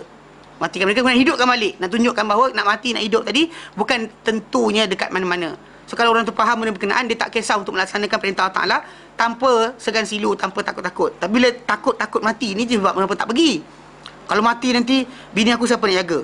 Anak aku siapa nak jaga? Kan dia, dia actually on, go on lah. So last sekali tak pernah buat apa? Belajar tidak apa tidak? Yeah. Ha, kalau kau belajar tu ampun lagi lepas lah. Lepas lah pasal dalam, dalam, dalam surat Taubah Allah Ta'ala berikan pengecualian untuk orang yang pergi belajar. Yang tak pergi belajar soalan nak buat apa? Ha, yang cek duit je lah. So in the end dia benda tadi macam dia katakan tak apa. Tu dia datang tafsiran apa? Jihad dengan harta. Ha, jihad dengan harta. Jihad, jihad nafsu. Ha, jihad nafsu tu penting dia kata. Memang betul jihad nafsu itu penting tapi dia akan terrealisasi dalam tajuk apa? Kepatuhan berperintah Allah Subhanahu Taala bukan dengan apa yang kita fikirkan. Kalau kata orang tu dia lawan nafsu dia untuk tidak makan. tidak makan, tidak minum. Tapi tak ikut aturan Allah Ta'ala, salah. Contoh macam orang yang nak puasa setiap hari. Nafsu dia dilawan. Orang yang tak nak kahwin wanita. Nafsu dia dilawan. Keinginan dia, dia, dia desire tapi dilawan desire dia. Tapi dalam Islam benda tu salah. Walaupun dia rasa macam, betul. Dia rasa, ah baguslah benda ni kerana apa? Lawan nafsu. Tapi dalam Islam itu bukan aturan dia. Pasal walaupun nampak lawan nafsu itu yang macam bagus. Tapi Islam tak pernah ajar. Makin tak nak makan daging. Kenapa tak makan daging? Oh, tak nak lah. Ini makan daging ni nampak macam bis, dia kata macam kan binatang buas dia ikut pahaman mana tak tahu nabi makan daging tak ada masalah pun yang nabi ni kekasih Allah Taala yang paling Allah Taala muliakan yang paling jaga-jaga. Ada benda nabi biar para sahabat makan nabi tak makan. Macam bob kan Yuk padang pasir tu nabi tak makan. Para sahabat makan nabi biarkan. Okey tapi nabi sendiri makan daging. Makanlah daging masalah dia? Tak ada darah tinggi tak ada complication. Tapi kenapa? I'm a vegetarian. Kenapa? Dekat diri pada Tuhan cara macam tu. Apa masalah dia? Kan kita kata manusia ni perlukan kepada keseimbangan. Dia badan manusia ni tak boleh tak boleh serap protein tumbuhan. Dia tak kadang tak belajar tau benda ni. badan manusia ni protein tumbuhan bagi banyak mana pun dia tak boleh serap penuh. Binatang boleh. Pasal binatang sebab kenapa binatang-binatang macam macam lembu, macam kambing, binatang makan daun ya. Dia perut dia ada empat, tahu? Ada empat empat section. Ada omasum benda tak nama. Siapa nak belajar tengok sendiri. Dia ada empat ni binatang dia panggil dia. Dia ada omasum, ovasum dan sebagainya. Dia punya perut dia tu ada empat. Dia bila dia makan, apa benda dia makan eh? Dia makan benda-benda dia makan rumput tu, disimpan dalam yang besar tu. Yang besar tu tempat mana tu ada bakteria yang akan menguraikan benda tersebut. Lepas tu dia keluarkan balik ke mulut dia, dia kunyah kira masuk perut kedua pula. Dia bukan macam sekaligus macam teran-teran terus jadi. Ni kadang orang macam besar perut lembu besar. Sebab dia perlukan sistem tadi. Kalau rasa perut ustaz besar, itu benda lain. itu kan tajuk dia. Tapi tajuk dia sekarang ni benda tu kenapa dia besar? Sebab Allah Ta'ala jadikan aturan tadi. Kita tak boleh. Makan daun tadi kan. Ada orang apa minum jus jus rumput. Tak faham betul kenapa. Kan? Kenapa? Udahlah tu kan. Kalau nak protein tadi, ambil daripada kan. Ha, kan? Nak jadi klorofil dalam badan. Kita badan kita pun tak boleh buat fotosintesis. Tak seriously. Ni, ni, ni benda fakta. Kenapa nak buat juga tak tahu. Saya tak faham sampai sekarang. Kadang-kadang ada orang tu kan Yang ada tu pakai dulu Yang sibuk-sibuk benda tak ada kenapa Itu yang keluar garam garam aura lah Garam itulah Garam inilah Garam biasa tu pakai je lah makan Apa masalah dia Kan sibuk garam aura Itu masalah betul Saya tak faham kenapa Kesian kesian Makin tak bukan Makin makin advance Makin pandai Makin kena tipu tak kenapa tak Makin kena tipu Orang kata minyak wangi CEO lah Eh minyak wangi CEO Kopi CEO Kalau makan jadi CEO Kenapa? Semua kalau tak logik akal. Kalau semua orang pakai kopi tu dan jadi semua CEO, siapa jadi kuli? Faham tak? Tak logik langsung. Dia aturan manusia ni Allah kata apa apa uh, Allah kata apa? Uh, dia kata ahum yaksimuna rahmat rabbik surah az-zukhruf. Surah az-zukhruf Allah kata ahum yaksimuna rahmat rabbik. Az-zukhruf eh. Dia pasal benda ni, benda ni dalam dalam, dalam Al-Quran Karim Allah Taala terangkan dah. Tapi tapi orang biasalah zukhruf. Ahum yaksimun rahmat rabbik. Adakah mereka yang agi-agikan rahmat Tuhanmu? Dia cerita ni macam ni. Bila bila mana orang-orang Quraisy dahulu uh, menyatakan kalaulah Quran ini turun pada orang tertentu kan bagus lagi hebat dan sebagainya. Allah Taala kata apa? Ahum yaksimun rahmat rabbik. Az-Zukhruf ayat 30. Apa ni? 32. 32. Ahum yaksimun rahmat rabbik. Adakah mereka membahagi-bahagikan hai Muhammad rahmat Tuhanmu? Nahnu qasamna bainahum ma'isyatahum. Actually macam ni, para anbiya pilihan Allah Taala. Allah Taala bagi itu memang dia nabi. Jangan kejar title yang sama. Mana apa dapat untuk dia itu hak dia. Anda tidak dituntut untuk jadi nabi. Untuk jadi wali terbang-terbang pun sama juga. Dan Islam anda tak dituntut untuk jadi macam tu. Okay. Nabi itu hak dia, pilihan Allah Ta'ala. Allah Ta'ala tentukan dia Nabi, bukan pilihan kita. Pasal orang-orang musyrikin dahulu ingat. Dia kata, kalau lah orang ni jadi kan lagi bagus. Kalau yang ni kan lagi layak, dia kata. Diorang, diorang ada, ada idea orang tertentu patut jadi Nabi dan Rasulullah SAW, banding Rasulullah SAW. Tapi Allah Ta'ala jawab balik, adakah mereka yang agi-agikan rahmat Tuhanmu, Hai Muhammad? Adakah mereka agi-agikan? Allah kata, nahnu qasamna bainahum ma'isyatahum fil hayati dunya. Kamilah yang sebenarnya mengagih-agihkan untuk mereka kehidupan mereka dalam dalam ini mana cara hidup mereka dan kehidupan dunia mereka ni. Dan kehidupan ni sekali siapa yang agihkan? Allah Taala. Kan kadang-kadang kita kata kita nampak harta kita kita macam kita kata ni. Kadang-kadang background hidup kita membantu untuk kita jadi siapa? Yang saya faham, tak ada orang kita kata macam begitu. Yang seorang dua orang jadi tu tak tunjukkan sebagai contoh. anugerah Ta'ala Dia jumpa orang tertentu yang ada orang tolong dia Orang kata tak ambil, ambil lah modal ni menjaga Kalau tak ada orang tu nak bagi modal pada dia, dia tak boleh menjaga Ada orang tu kadang kaya kerana keluarga dia Bapak dia siapa, mak dia siapa, memang peranan Kan tu sebab kenapa kena macam lah. Perasan tak kena ada orang tu lepas dia dia dia berhenti jadi adun ke ada pun sebagainya kan ada datuk tansi dilantik sebagai pengarah syarikat tertentu. Dia tak pandai buat kerja pun sebenarnya. Tapi tak tahu tak kenapa dilantik. Nama tu, the name. Nama tu nampak, ush, datuk sekian pula dia pengarah. Okeylah, okeylah. Faham tak?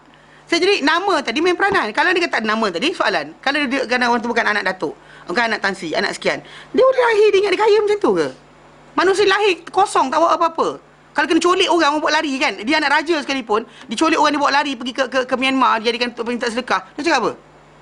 Mana kita ini siapa kita lahir, untuk siapa, apa, macam mana kita nak besar dan sebagainya, Allah Ta'ala aturkan. Even kita sekarang besar kasih sayang apa kita siapa, itu pun Allah Ta'ala aturkan. Allah Ta'ala agih-agihkan. Ada orang dapat habuan banyak, ada orang dapat habuan sikit. Allah kata, nahnu qasamna bainahum ma'isyatahum fil hayati dunia. Kami agih-agihkan. Dan bahkan dalam perkara ini tak ada halal haram lagi. Mana ada orang manusia ni kadang-kadang dia, dia susah, dia happy. Kan, dia susah, dia sengsara. Hidup dia tak ada kaya. Tapi dia happy. Makan melantak kau puas hati. Ada orang tu duit banyak, harta banyak. Tapi sakit susah hati je. Tengok sini hutang, tengok situ hutang, tengok sekian hutang. Ah, betul tak? Nampak depan mata masyarakat orang sini, ada kadang-kadang tu harta hutang mungkin tak ada tapi tak boleh makan tu benda. Nak makan garam tak boleh. Nak makan kambing oh tak boleh. Tak ada benda nak makan, makan nasi sejemput macam tu je. Macam tu. Kalau saya makan satu keluar je. Dia makan banyak tu je, setengah cawan. Saya pandang macam mana dia makan. Bayangkan macam tu sekali. Mana maksud dia kadang-kadang tak, tak, tak, tak, tak dapat rasa nikmat dunia ni. Walaupun dia apa? Dia banyak duit. Tapi tak dapat rasa. Eh, lidah tu tawar dah. Tawar lidah dia nak makan. Tak ada rasa apa. Kalau kita pandang macam ni, kita tahu kita tahu Allah Taala agihkan adil. Dia agihkan untuk orang ni lebih, orang ni kurang. Untuk ujian bagi orang-orang tersebut. Dan siapa sekeliling memandang perkara tersebut. Siapa ambil iktibar dan dia faham.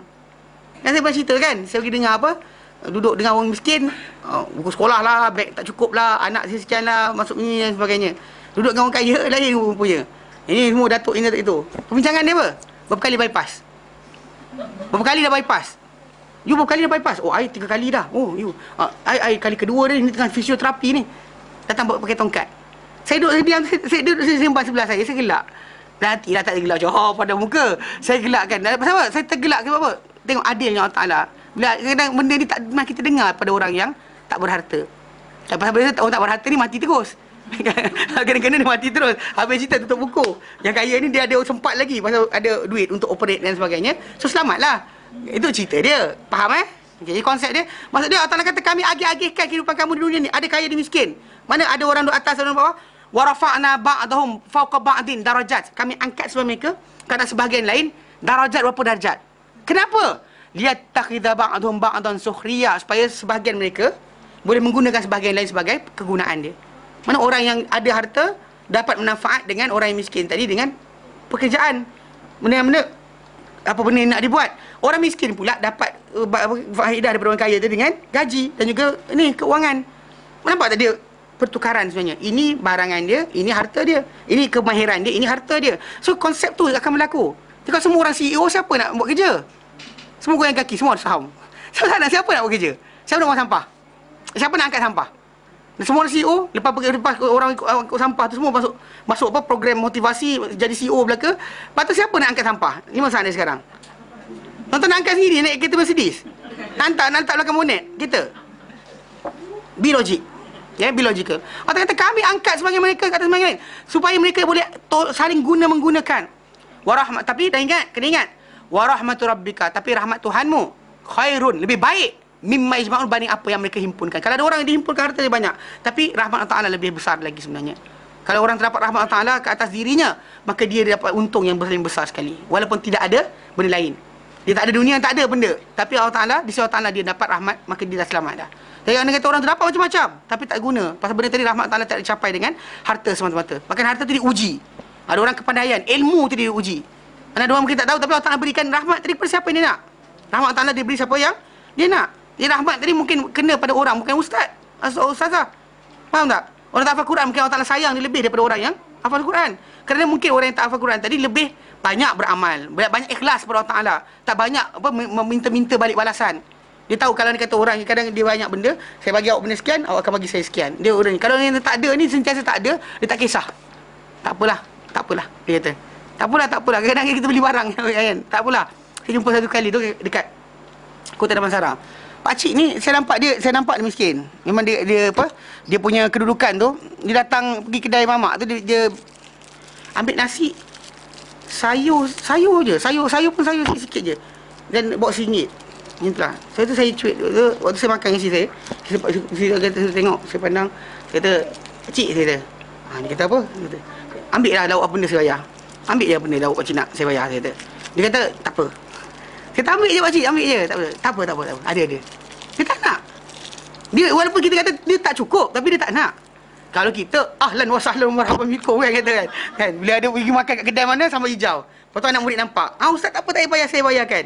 Ha, kita macam Alhamdulillah kata Tak akan duit aku Kadang-kadang macam tu Tapi orang tua tadi kan Dengan tak cukup Bayangkan Kalau pergi fikir logik kan Dia duit dia tak ada Tapi bila dia kata Kasih lauk banyak Dia makan, makan nasi Dengan sayur yang togeh Dengan tahu goreng tu je Dia macam tu macam tu je kan Singgit Mana orang tu bagi dengan singgit Saya kata dia ambil saja lauk Saya bayar kan Tak apa Terima kasih banyak dia kata Mana dia dia tak perlu ke soalan Kan tak perlu. Tapi masalahnya dia tahu nak menolak. Mana tahu dia mungkin pergantungan dia dia, dia faham. Mana pergi kedai dia nak ini je. Tak lebih tak lebih tak apa tak ada masalah dia kata.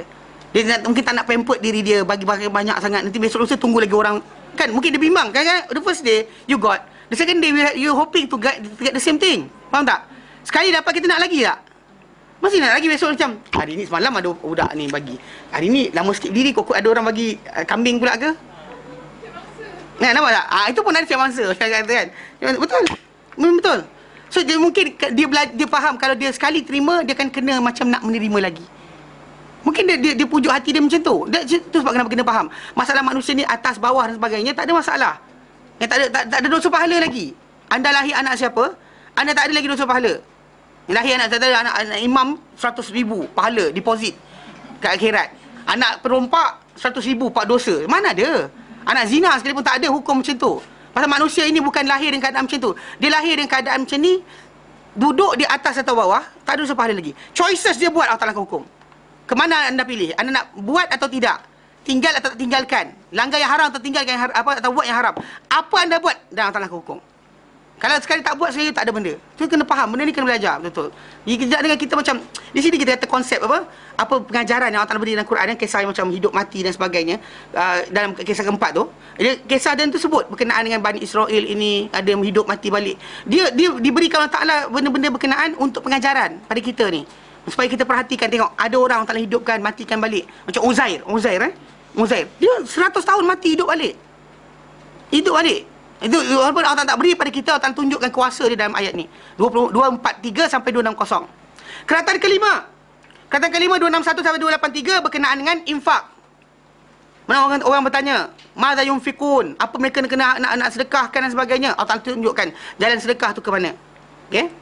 Contoh dalam surah apa dah dia sebut kat situ dalam 261 dan 283. 261 sampai 283. Ni surah mana ni? Oh, ni surah lain. Ni surah Zukhruf. Silap, dia buka lain dah. Okey.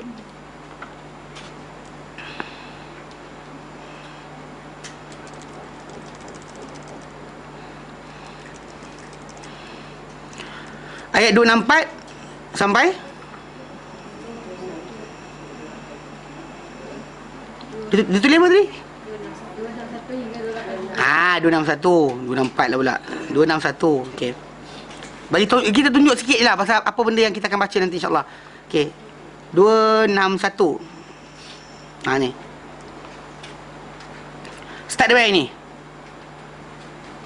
Pasal, pasal yang atas ni apa atas ni kisah Ibrahim ni kan wa id qala ibrahim rabbi arini kaifa tuhil mauta ya Allah wa ingat ketika Ibrahim berkata rabbi tuhanku arini kaifa tuhil mauta tunjukkan kepada aku macam kau hidupkan yang mati Qala awal tu'min Allah kata kau tak beriman ke? Awalam tu'min kau tak beriman ke? Qala bala. Dia kata bala walakin liyatma'inna qalbi tapi untuk apa? Menenangkan lagi hati aku. Tenangkan hati aku. Maka Allah suruh dia ambil burung tu dan apa dah kisah yang berlaku. Okey, habis ayat tu masuk ayat 261 apa? Masalul ladzina yunfikuna amwalahum fi sabilillah. Misal permisalan orang yang menginfakkan hartanya, harta mereka di jalan Allah, kama habbatin, ia adalah seperti satu biji, bijirin. Apa dah gandum ke beras ke sebagainya.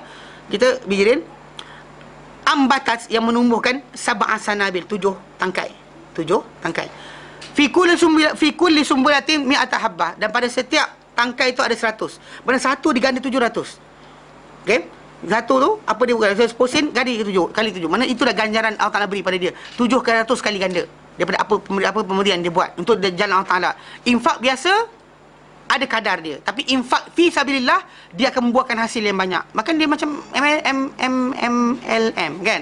Bila orang tu sedekah seposen sekalipun dengan seposen tadi jadi contohnya kapet. Kapet tu kan? Kalau tak ada seposen tak cukup kapet tadi. Dengan seposen dia bagi tadi kapet tu dapat dibeli maka orang semayang kan? Dia kan besar lah memang kita tahu dalam ruang apa fisabilillah ni anything yang lillahi ta'ala di jalan Allah Ta'ala lebih ben, bukan bentuk pribadi dan sebagainya. Maka benda tersebut adalah bentuk-bentuk untuk dakwah dan sebagainya. Maka dia besar dia akan meluas meluas meluas contoh macam kata orang tu beli kursi satu.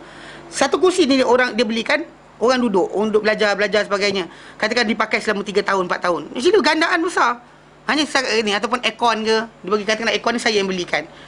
Setiap kali kita belajar tuan-tuan terima aircon ni. Kan?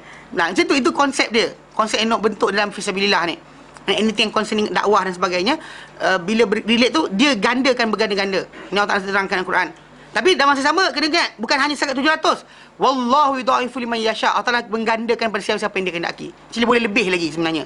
Yang 700 saya akan berganda lagi lebih lagi tu wallahu wasi'un alim. Start ayat itu dia mula terangkan berkenaan masalah infak.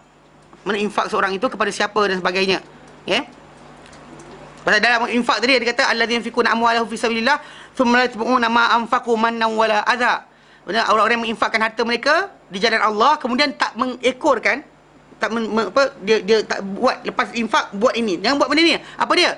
Dia tak buat selepas tu um, dengan dia tak ekorkan dengan apa mereka infakkan mannan ungkitan-ungkitan wala adha dan juga tidak apa menyakiti. Contoh macam bila seorang masjid datang kan nak beli sekian. Dia tu ha, dia kata, "Eh aku bagi dah hari tu. Kenapa tak sekian?" Kenapa tak sekian? Kan aku dah infak duit sekian. Kalau ada separuh tu macam datuk-datuk tu kan dia pergi infak kat sekolah, anak dia nakal, eh saya bagi duit itu. Kan kenapa? Anak saya kena rotan juga. Eh, contohnya lah anak nakal, raba orang dan sebagainya, lepas tu kena rotan gua besar, ah, eh kan, saya bagi dah. Kan? Kenapa anak saya kena rotan juga? Ha, contohnya itulah. Ini manan lah. Mana dia ungkit. Ataupun orang datang minta minta benda-benda sini kan, dakwah dan sebagainya. Dia kata, ish, Oh dah bagi dah tu ni lagi sebagainya. Malas tak nak sekian. Ah, that is actually azab menyakiti. Mana orang yang infak macam tu dia dia dia tak dapat. Lahum ajruhum inda rabbihim wala khaufun alaihim wala hum yahzanun. Mana siapa yang tak buat macam ni, maka untuk mereka ada ganjaran. Siapa buat macam ni, ganjaran yang akan tersekat. Pasal dia akan terbatal. Pasal ayat lain kita akan baca insya-Allah kita belajar nanti. Uh, uh, apa Allah katakan ya ayyuhallazina amanu wahai beriman la tubtilu sadaqatikum bin banni wal adha. Jangan kamu batalkan sedekah kamu dengan ungkit-ungkitan dan juga menyakiti orang yang kamu sedekah pada dia harta berkenaan. Dan bahkan kalau tak ada orang dia harta untuk infakkan qaulun ma'rufun. Kata-kata yang baik ni khairum min sadaqah. Lebih baik dari sedekah. Ni Allah terangkan ayat ni sat 261 ni sampailah yang berikutnya untuk terangkan berkenaan apa? Infak. Mana kalau kita ada duit kata-kata baik telah memadai sebenarnya. Itu maka para dilihat pada hadis Nabi SAW bila para sahabat menyatakan ya Rasulullah kami yang kata orang kaya. Dia ni ada para sahabat miskin mengadu. Dia kata apa? Dia kata ya Rasulullah, orang kaya dia kata. Mereka solat macam kami solat. Mereka bayar zakat macam kami zakat. Mereka mereka jihad macam kami jihad. Dan mereka ada harta tambahan untuk mereka bersedekah. Kami tak ada harta tambahan Rasulullah. Maka Rasulullah pun terangkan. Mana untuk seorang muslim itu, mukmin tu, setiap pagi dia bangun tu, pada 360 sendi dia ada sedekah. Dia tolong orang susah sedekah. Cakap benda baik sedekah. Kan? Senyum, senyum dia depan saudaranya adalah sedekah. Nabi terangkan macam tu sekali. Untuk terangkan bahawa kalau tak ada duit pun, anda masih lagi ada peluang untuk buat kebajikan yang banyak sebenarnya. Bukan semestinya ada harta bahawa boleh berkebajikan. Jadi kalau ada harta, berkebajikan, itulah dia apa? Tambahan kepada tu ada apa yang lebihan tadi. Allah Taala beri kelebihan kepada kita, maka itu ujian dan juga apa, Allah akan soal balik di hari akhirat nanti. Okey. Mana dia kata apa? Dia kata uh, infak dan adab-adabnya dan orang yang layak baginya. Okey 261 sampai 283. Kemudian keratan ke-6 pemeliharaan harta daripada yang haram dan juga dari disia-siakan 275 sampai 283. Itu sampai akhir eh 275 sampai 283. Dia kadang-kadang dia overlap uh, apa pengisian yang berikutnya pasal kadang dia ada kaitan. Yang ini masuk sini, yang ini masuk sini. Macam tu macam dia sebut tadi kan 261 dan 283. Tiba-tiba 275 masuk adik. Ah, tak ada masalah. Dia ada ada dia dia dia masuk macam tu overlap mana kisah tu mungkin tak, tak habis lagi bersama pada yang berikutnya atau balik pada awal yang sebelumnya. Okey.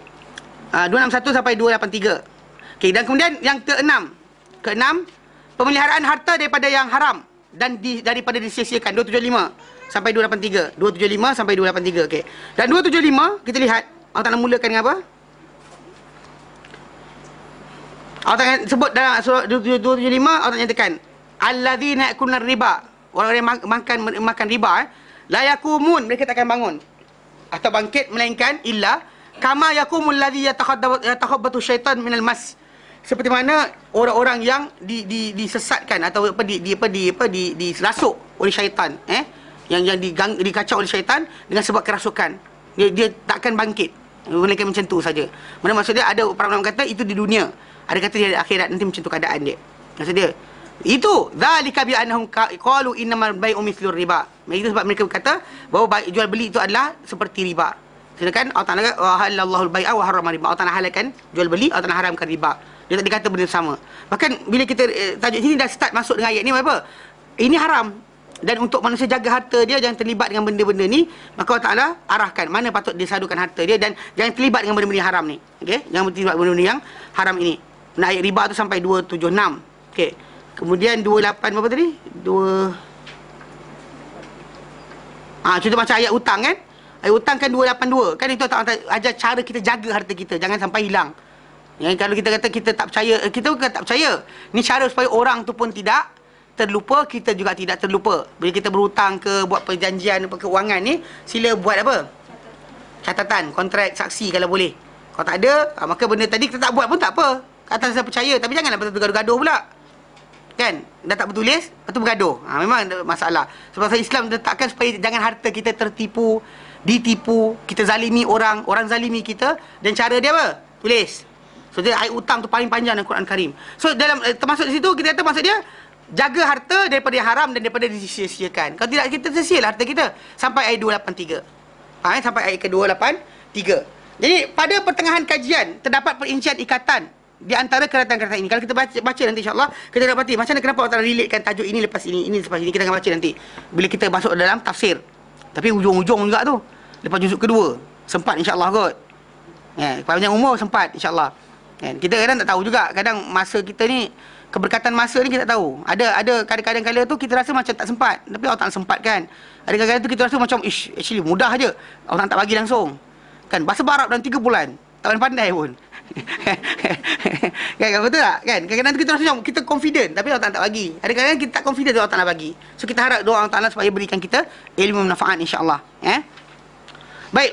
Dia kata apa? Dia kata dalam pertengahan kajian, kajian ini terdapat perincian ikatan di antara keratan-keratan ini bagi membentuk bersama keseluruhan taklif. Keseluruhan taklif yang dengannya menjadi elok umat dan diperelokkan dunia. Umat ini akan elok, dunia pun akan elok dengan sebab apa ni letakkan tadi. Nampak macam singkat tapi macam tu kita bayar. Macam masalah masalah akidah itu. Eh? Macam kita kata kebaikan itu bukanlah apa yang kita fikir Allah Ta'ala letakkan. Kemudian pada masalah apa contoh-contoh manusia ini. Kemudian pada perincian hukum keluargaan. Mana bila keluarga elok, maka masyarakat akan elok. Masyarakat elok maka negara, negara akan bagus. Itu, itu masalah dia, sistem keluargaan. Banyak negara sekarang ni yang tak ada sistem keluargaan ni, yang hilang konon contoh macam apa just because of love, kan? Tak payah kahwin, tak payah apa. Itu semua itu tak tak penting dia kata. Tak penting. Tapi apa jadi sekarang? Jepun tak cukup anak. Yang orang tua ramai, orang muda tak ada. Korea sama. Okay, kemudian uh, Singapore yang dekat dengan kita. US banyak import. Kau kata US ada, US import. Banyak orang dari luar dia beli kan. Kan dia anak anak Cina yang bawa masuk kan. Kan anak angkat, betul? Betul, pasal kan benda tu dia buat sistem tu. Kenapa? Bawa keluar. Sebab dalam negara tak cukup dah. Sebab tak cukup. Sebab tadi lah pasal kadang-kadang sistem keluargaan tadi dah hancur maka orang tak nak lagi berkeluarga. Bila budak tanpa uh, tanpa kekeluargaan anak tak dapat hidupkan dengan dengan elok sebenarnya. Kena ada keluarga. Hatta Rasulullah SAW sendiri walaupun bapak dia mati tapi keluarga dia ada. Kerana perkahwinan tu sah dan sebagainya. Benar elok. Jadi dia jaga oleh bapa saudara dia atuk dia sebagainya. Ada protection daripada family tadi. Walaupun mungkin jauh mungkin jauh kerana apa? Penting itu sebab pentingnya masalah keluargaan ni. Supaya anak tadi dibesarkan dengan elok. Jadi bila tak dapat uh, sistem keluargaan yang betul, ha, maka apa jadi sekarang? Itu kita nampak. Mana anak tak cukup lah. Dan colik anak orang dan sebagainya. Ini jadi kes sebenarnya. Sekarang ni. Jadi kalau kita kata kalau pakai bangsa-bangsa tentu kat dunia ni, dia takut dalam beberapa tahun akan datang, semua tua je. Tak ada muda dah. Petang mahir tak ada dan sebagainya. Yang sekarang ni Singapura eh. Sesiapa yang rasa, rasa bijak, pandai sikit, minta kerakyatan akan lepas. Betul, dia tak ada, dia kurang tenaga mahir. Terpaksa import dari luar. Kenapa? Ha, sebab dulu percaturan yang masalah. Apa? Jangan lahir anak ramai. Kalau anak ramai nanti tak cukup, makan. Dia tak ada quality of life dia kata. Ha, tapi tengok apa jadi sekarang. Ha, cukup tak cukup tak apa tak cukup anak laki sekali yang tua ramai yang muda tidak ada. Ha, so masalah lah. So konsep tu sebab kenapa kena tak faham. Sekarang ni orang bagi insentif siapa yang ada anak ramai diberikan keutamaan untuk rumah dan sebagainya. Terbalik. Sebab apa terbalik? Sebab uh, perkiraan perangkaan orang buat kalau orang tak ada eh, tak ada anak-anak ramai lebih lagi pada golongan Cina bangsa Cina, uh, nescaya dalam 20 atau 30 tahun lagi majoriti akan jadi Melayu. So Melayu kan jenis beranak tak kisah Lantaklah Ada tak kira Kan tak orang Melayu lah Perangai macam tu Kalau dia nak pakai Melayu Islam ha, Islam lah Orang Melayu tak, tak ni Kadang ada Kita pun dulu hampir kan Di awal-awal lepas mereka tu ada uh, Seruan untuk perancang keluarga Betul? Ha, tapi lepas tu apa para ulama uh, tak, tak benarkan dan sebagainya maka benda tu menjadikan kita ke siapa sekarang Maka kita tak terikat macam tu kalau tidak sekarang ni pun pupus juga tak lahir saya ni apa saya ada 14 orang saya nombor 13 lepas mana kalau tak tiga orang je lepas abang saya berapa orang. Kakak saya seorang. Abang saya dua orang. Abang-abang dua orang. Ha. Tak payah pasal dia. Kan? Nak dari tiga belah orang. Dari empat belah orang. Adik saya tak lahir. Ha.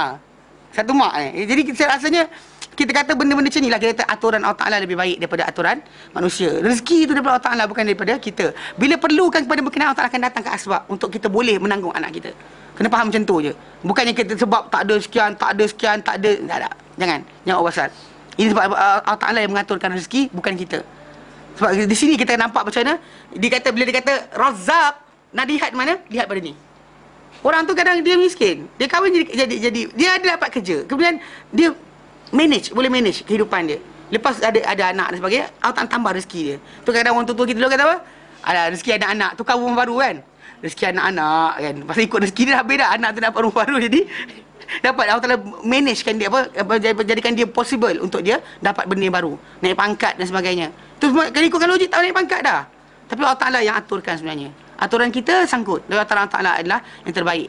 So minta pada Allah Taala. Pasal dia razak adalah dia bukannya kita Allah kata nah narzuqukum fa iyyakum kami rezeki pada keluarga kamu dan anak-anak kamu bukan mereka bukan bukan mereka, kamu buat sendiri tapi Allah Taala yang beri rezeki sebab kenapa Islam ajar macam tu faham ni prinsip eh baik Kemudian pernah datang penutup surah ini.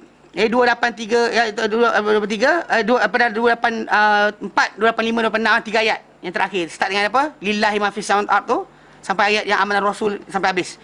Okey, ayat tu tiga ayat yang terakhir tu dia kata apa? Pada dia kata kemudian datang penutup surah ini dan dalamnya dalam uh, penutup ni tiga ayat tu pengembalian bahagian akhir kepada bahagian awal. Refer balik yang akhir ni kepada yang awal. Awal surah Baqarah kata apa? tentang orang-orang yang beriman kan? Siapa yang beriman? Dan di akhir surah ini Allah Taala kata telah beriman. Those who are being said kan?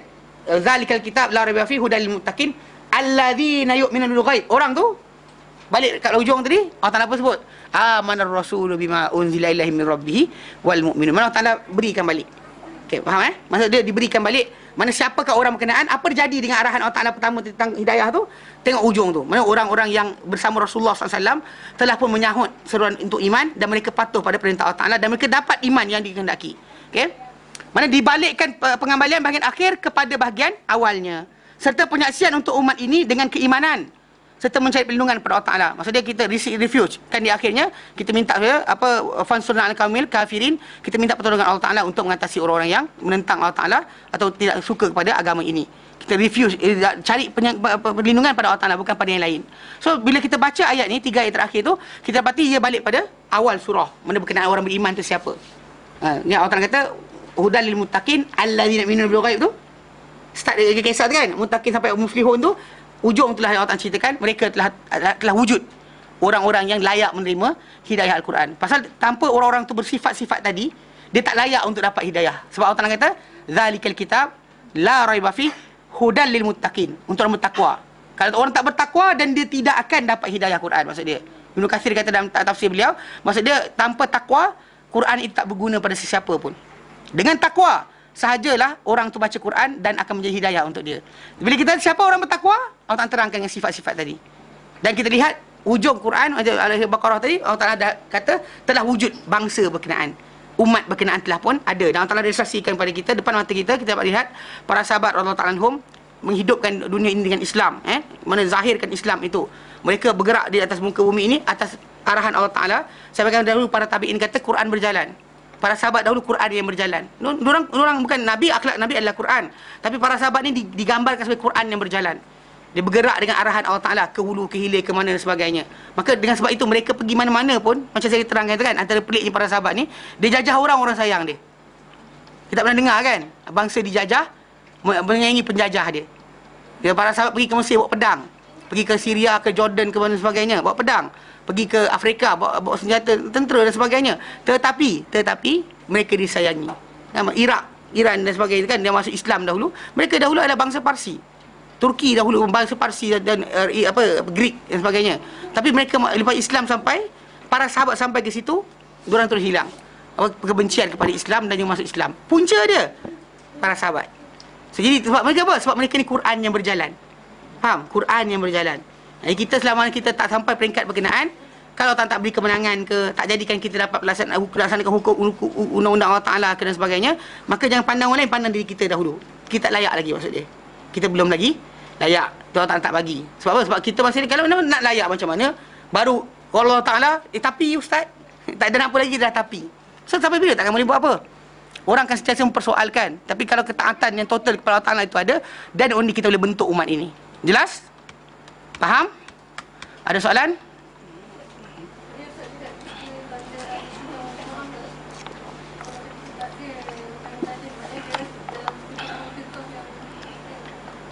Pasal kalau dah orang tak agungkan Quran Sunnah apa apa dia dia sini? Tak mengagung Quran dan Sunnah maksudnya dengar kalau Allah Rasulullah dia lawan seriously dia duduk mana? Itu soalan sekarang ni. Balik pada nombor dua pula. Balik pada nombor dua betul ke Sunnah ada tak tadi Nabi sabdakan ada tak firman Allah Taala tentang perkara tersebut okey kemudian kalau kalau betul ada cek pula faham ni ikut cara para sahabat ke ikut ikut kepada sendiri para sahabat Nabi SAW belajar dengan Rasulullah SAW sebab kenapa kita kedepankan dia mereka ni dikedepankan dalam pemahaman Al-Quran sebab mereka adalah orang yang belajar direct dengan Rasulullah SAW. So jadi masalah fake dan sebagainya, pelaksanaan Islam tu, tengok orang faham dulu. Sebab kenapa bila macam kita baca zaman sekarang eh, bila kenaan tajuk masalah jampi air, kan? Jampi air. Kan? Kan last sekali terpaksa Jakir terpaksa keluarkan fatwa berkenaan dengan larangan berkenaan air jampi. Last sekali lah in the end. Lepas kita bebel lama tak pernah pernah cakap kan. Tapi last sekali ada hari ni keluar okey. Kalau kita patah balik, orang yang suka jampi-jampi air ni, ada tak dalil soalan? Ada dalil tak? Ada. Para sahabat lu dalil jampi air ada. Hadis hadis Bukhari Muslim sahih. Maka bahkan Nabi sini tak buat. Nabi biasanya Nabi wuduk, Nabi air wuduk Nabi tu Nabi sapu kat badan orang sakit tu. Ada. Tapi para sahabat sendiri baca Fatihah pada air, sembuhkan orang kena bisa ular, sembuhkan orang gila, eh, sembuhkan apa penyakit orang, ada. Tapi ah, extend sikit. Extend sikit apa? Dia orang tak buat tiap-tiap hari. Dia orang bukan bila dapat tu, sekali jampi jadi, Lepas tu besok buka booth tepi masjid Nabi. ah, faham tak? Yang beza sekarang ni kita benda tu ada tau. Eh? Pa, tak faham cara para sahabat faham. Mana kalau kita the first thing first berkenaan betul faham ni, kita kata agungkan nas kan agungkan nas, pastikan nas sahih. Ketiga, uh, betul faham dengan cara yang dikehendaki. Betul faham ni cara para sahabat dulu. Okey. Tu sebab kenapa saya kenapa refer para sahabat? Sebab contoh macam inilah. Air jampi ni tadi. Para sahabat menjampi orang sembuh daripada penyakit ramai. Para sahabat yang baca Quran malaikat turun ramai. Para sahabat yang kadang-kadang datang benda pelik-pelik kan ramai tapi dia orang tak buat tiap hari. Bukan bila datang tu orang tunggu eh, besok jadi apa.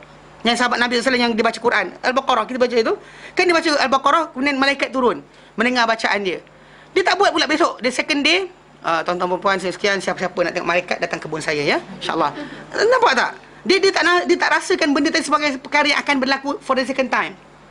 Kalau kita sekali jadi kita nak nak lagi.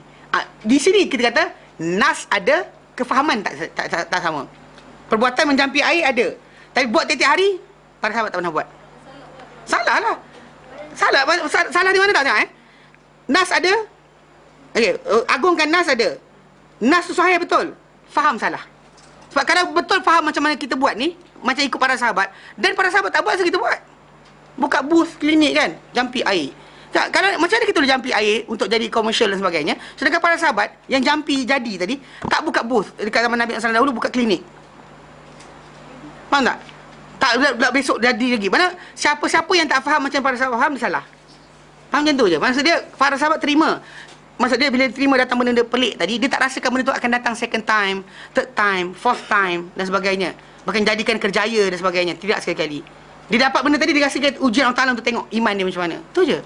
Bahkan dia dapat benda tu, dia diam kadang dia diam. Suruh. Dia tak cerita pun. Macam Abu Sa'id Al-Khudri yang jampi air tu dia. Tu dah hadis yang baca. Tu dia tak cerita. Dia kata dia, dia salah seorang. Yang buat benda tu dia. Dia yang buat. Tapi dia tak cerita pada orang. Dia yang buat. Dia cuma cerita pada orang. Salah seorang sahabat Nabi. Jampi orang. Semua. Maksud dia, tak kata diri sebab apa? Sebab tak nak benda tu macam disebarkan sebagai amal. Dia, dia tak beramal dengan benda tersebut. Faham tak?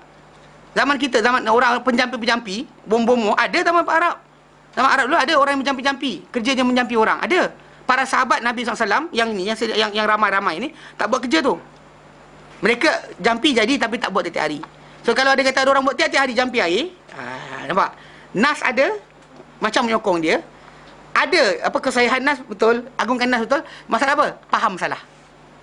Mana faham ni salah apa? Sebab para sahabat tak faham macam kita faham. Bila kita buka pusat orang Islam tu kan kita inilah sunnah Nabi buka pusat orang Islam. Tak ada. Faham tak? Sebab para sahabat tak pernah buka pusat orang Islam sebab mereka tak merasakan benda yang mereka dah buat tadi boleh buat for the second time. Kita rasa sekali boleh buat, kita akan buat berkali-kali lagi lepas tu. Nampak? Oh, malaikat turun. Besok buat lagi, malaikat turun. Tak ada. Pada tak buat. Macam Abu Bakar pernah sekali masak kan, kita cerita tu dalam Sahih Muslim, dia masak makanan, makanan tak habis, cedok. Cedok tak habis, cedok tak habis. Dia alih dia datang api, jumpa Rasulullah SAW. Ceritakan, Nabi kata, demi Allah, kalau kau tak alihkan periuk dari atas api, nanti sampai kiamat, dia akan berterusan keluar makanan. Tapi kau dah alih kan? Abu Bakar tak nak second time, letak sekali lagi. Nampak tak? Dia, ni yang kita kata, dia, dia, dia understanding of what happen, what should, uh, what what happen dan apa kita tindakan. Mana para sahabat nampak benda tu, dia faham benda tu sebagai apa? Ujian Allah Ta'ala. Kita nampak, jadi kita rasa apa? Itu petanda kita adalah orang yang chosen one. You know? We are the chosen one. Mimpi chosen one. Faham? So, salah. Macam tu eh, faham eh?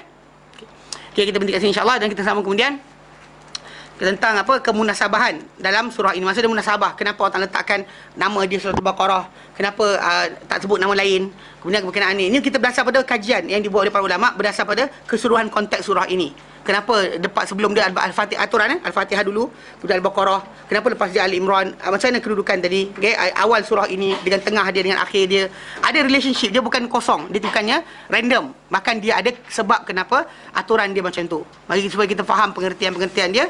Nanti bila isi ini kita akan nampak lagi jelas. Yang start ayat 139. 1 sampai 139, lepas tu 40 sampai 48, kita akan nampak macam mana uh, tajuk dia yang nyata. Jelas eh? Baik, wallahu taala alam. Wa sallallahu ala sayyidina Muhammad wa ala salam walhamdulillahi alamin. Subhanakallah bihamdik asyhadu an la ilaha illa anta wa ilaik. Wassalamualaikum warahmatullahi wabarakatuh.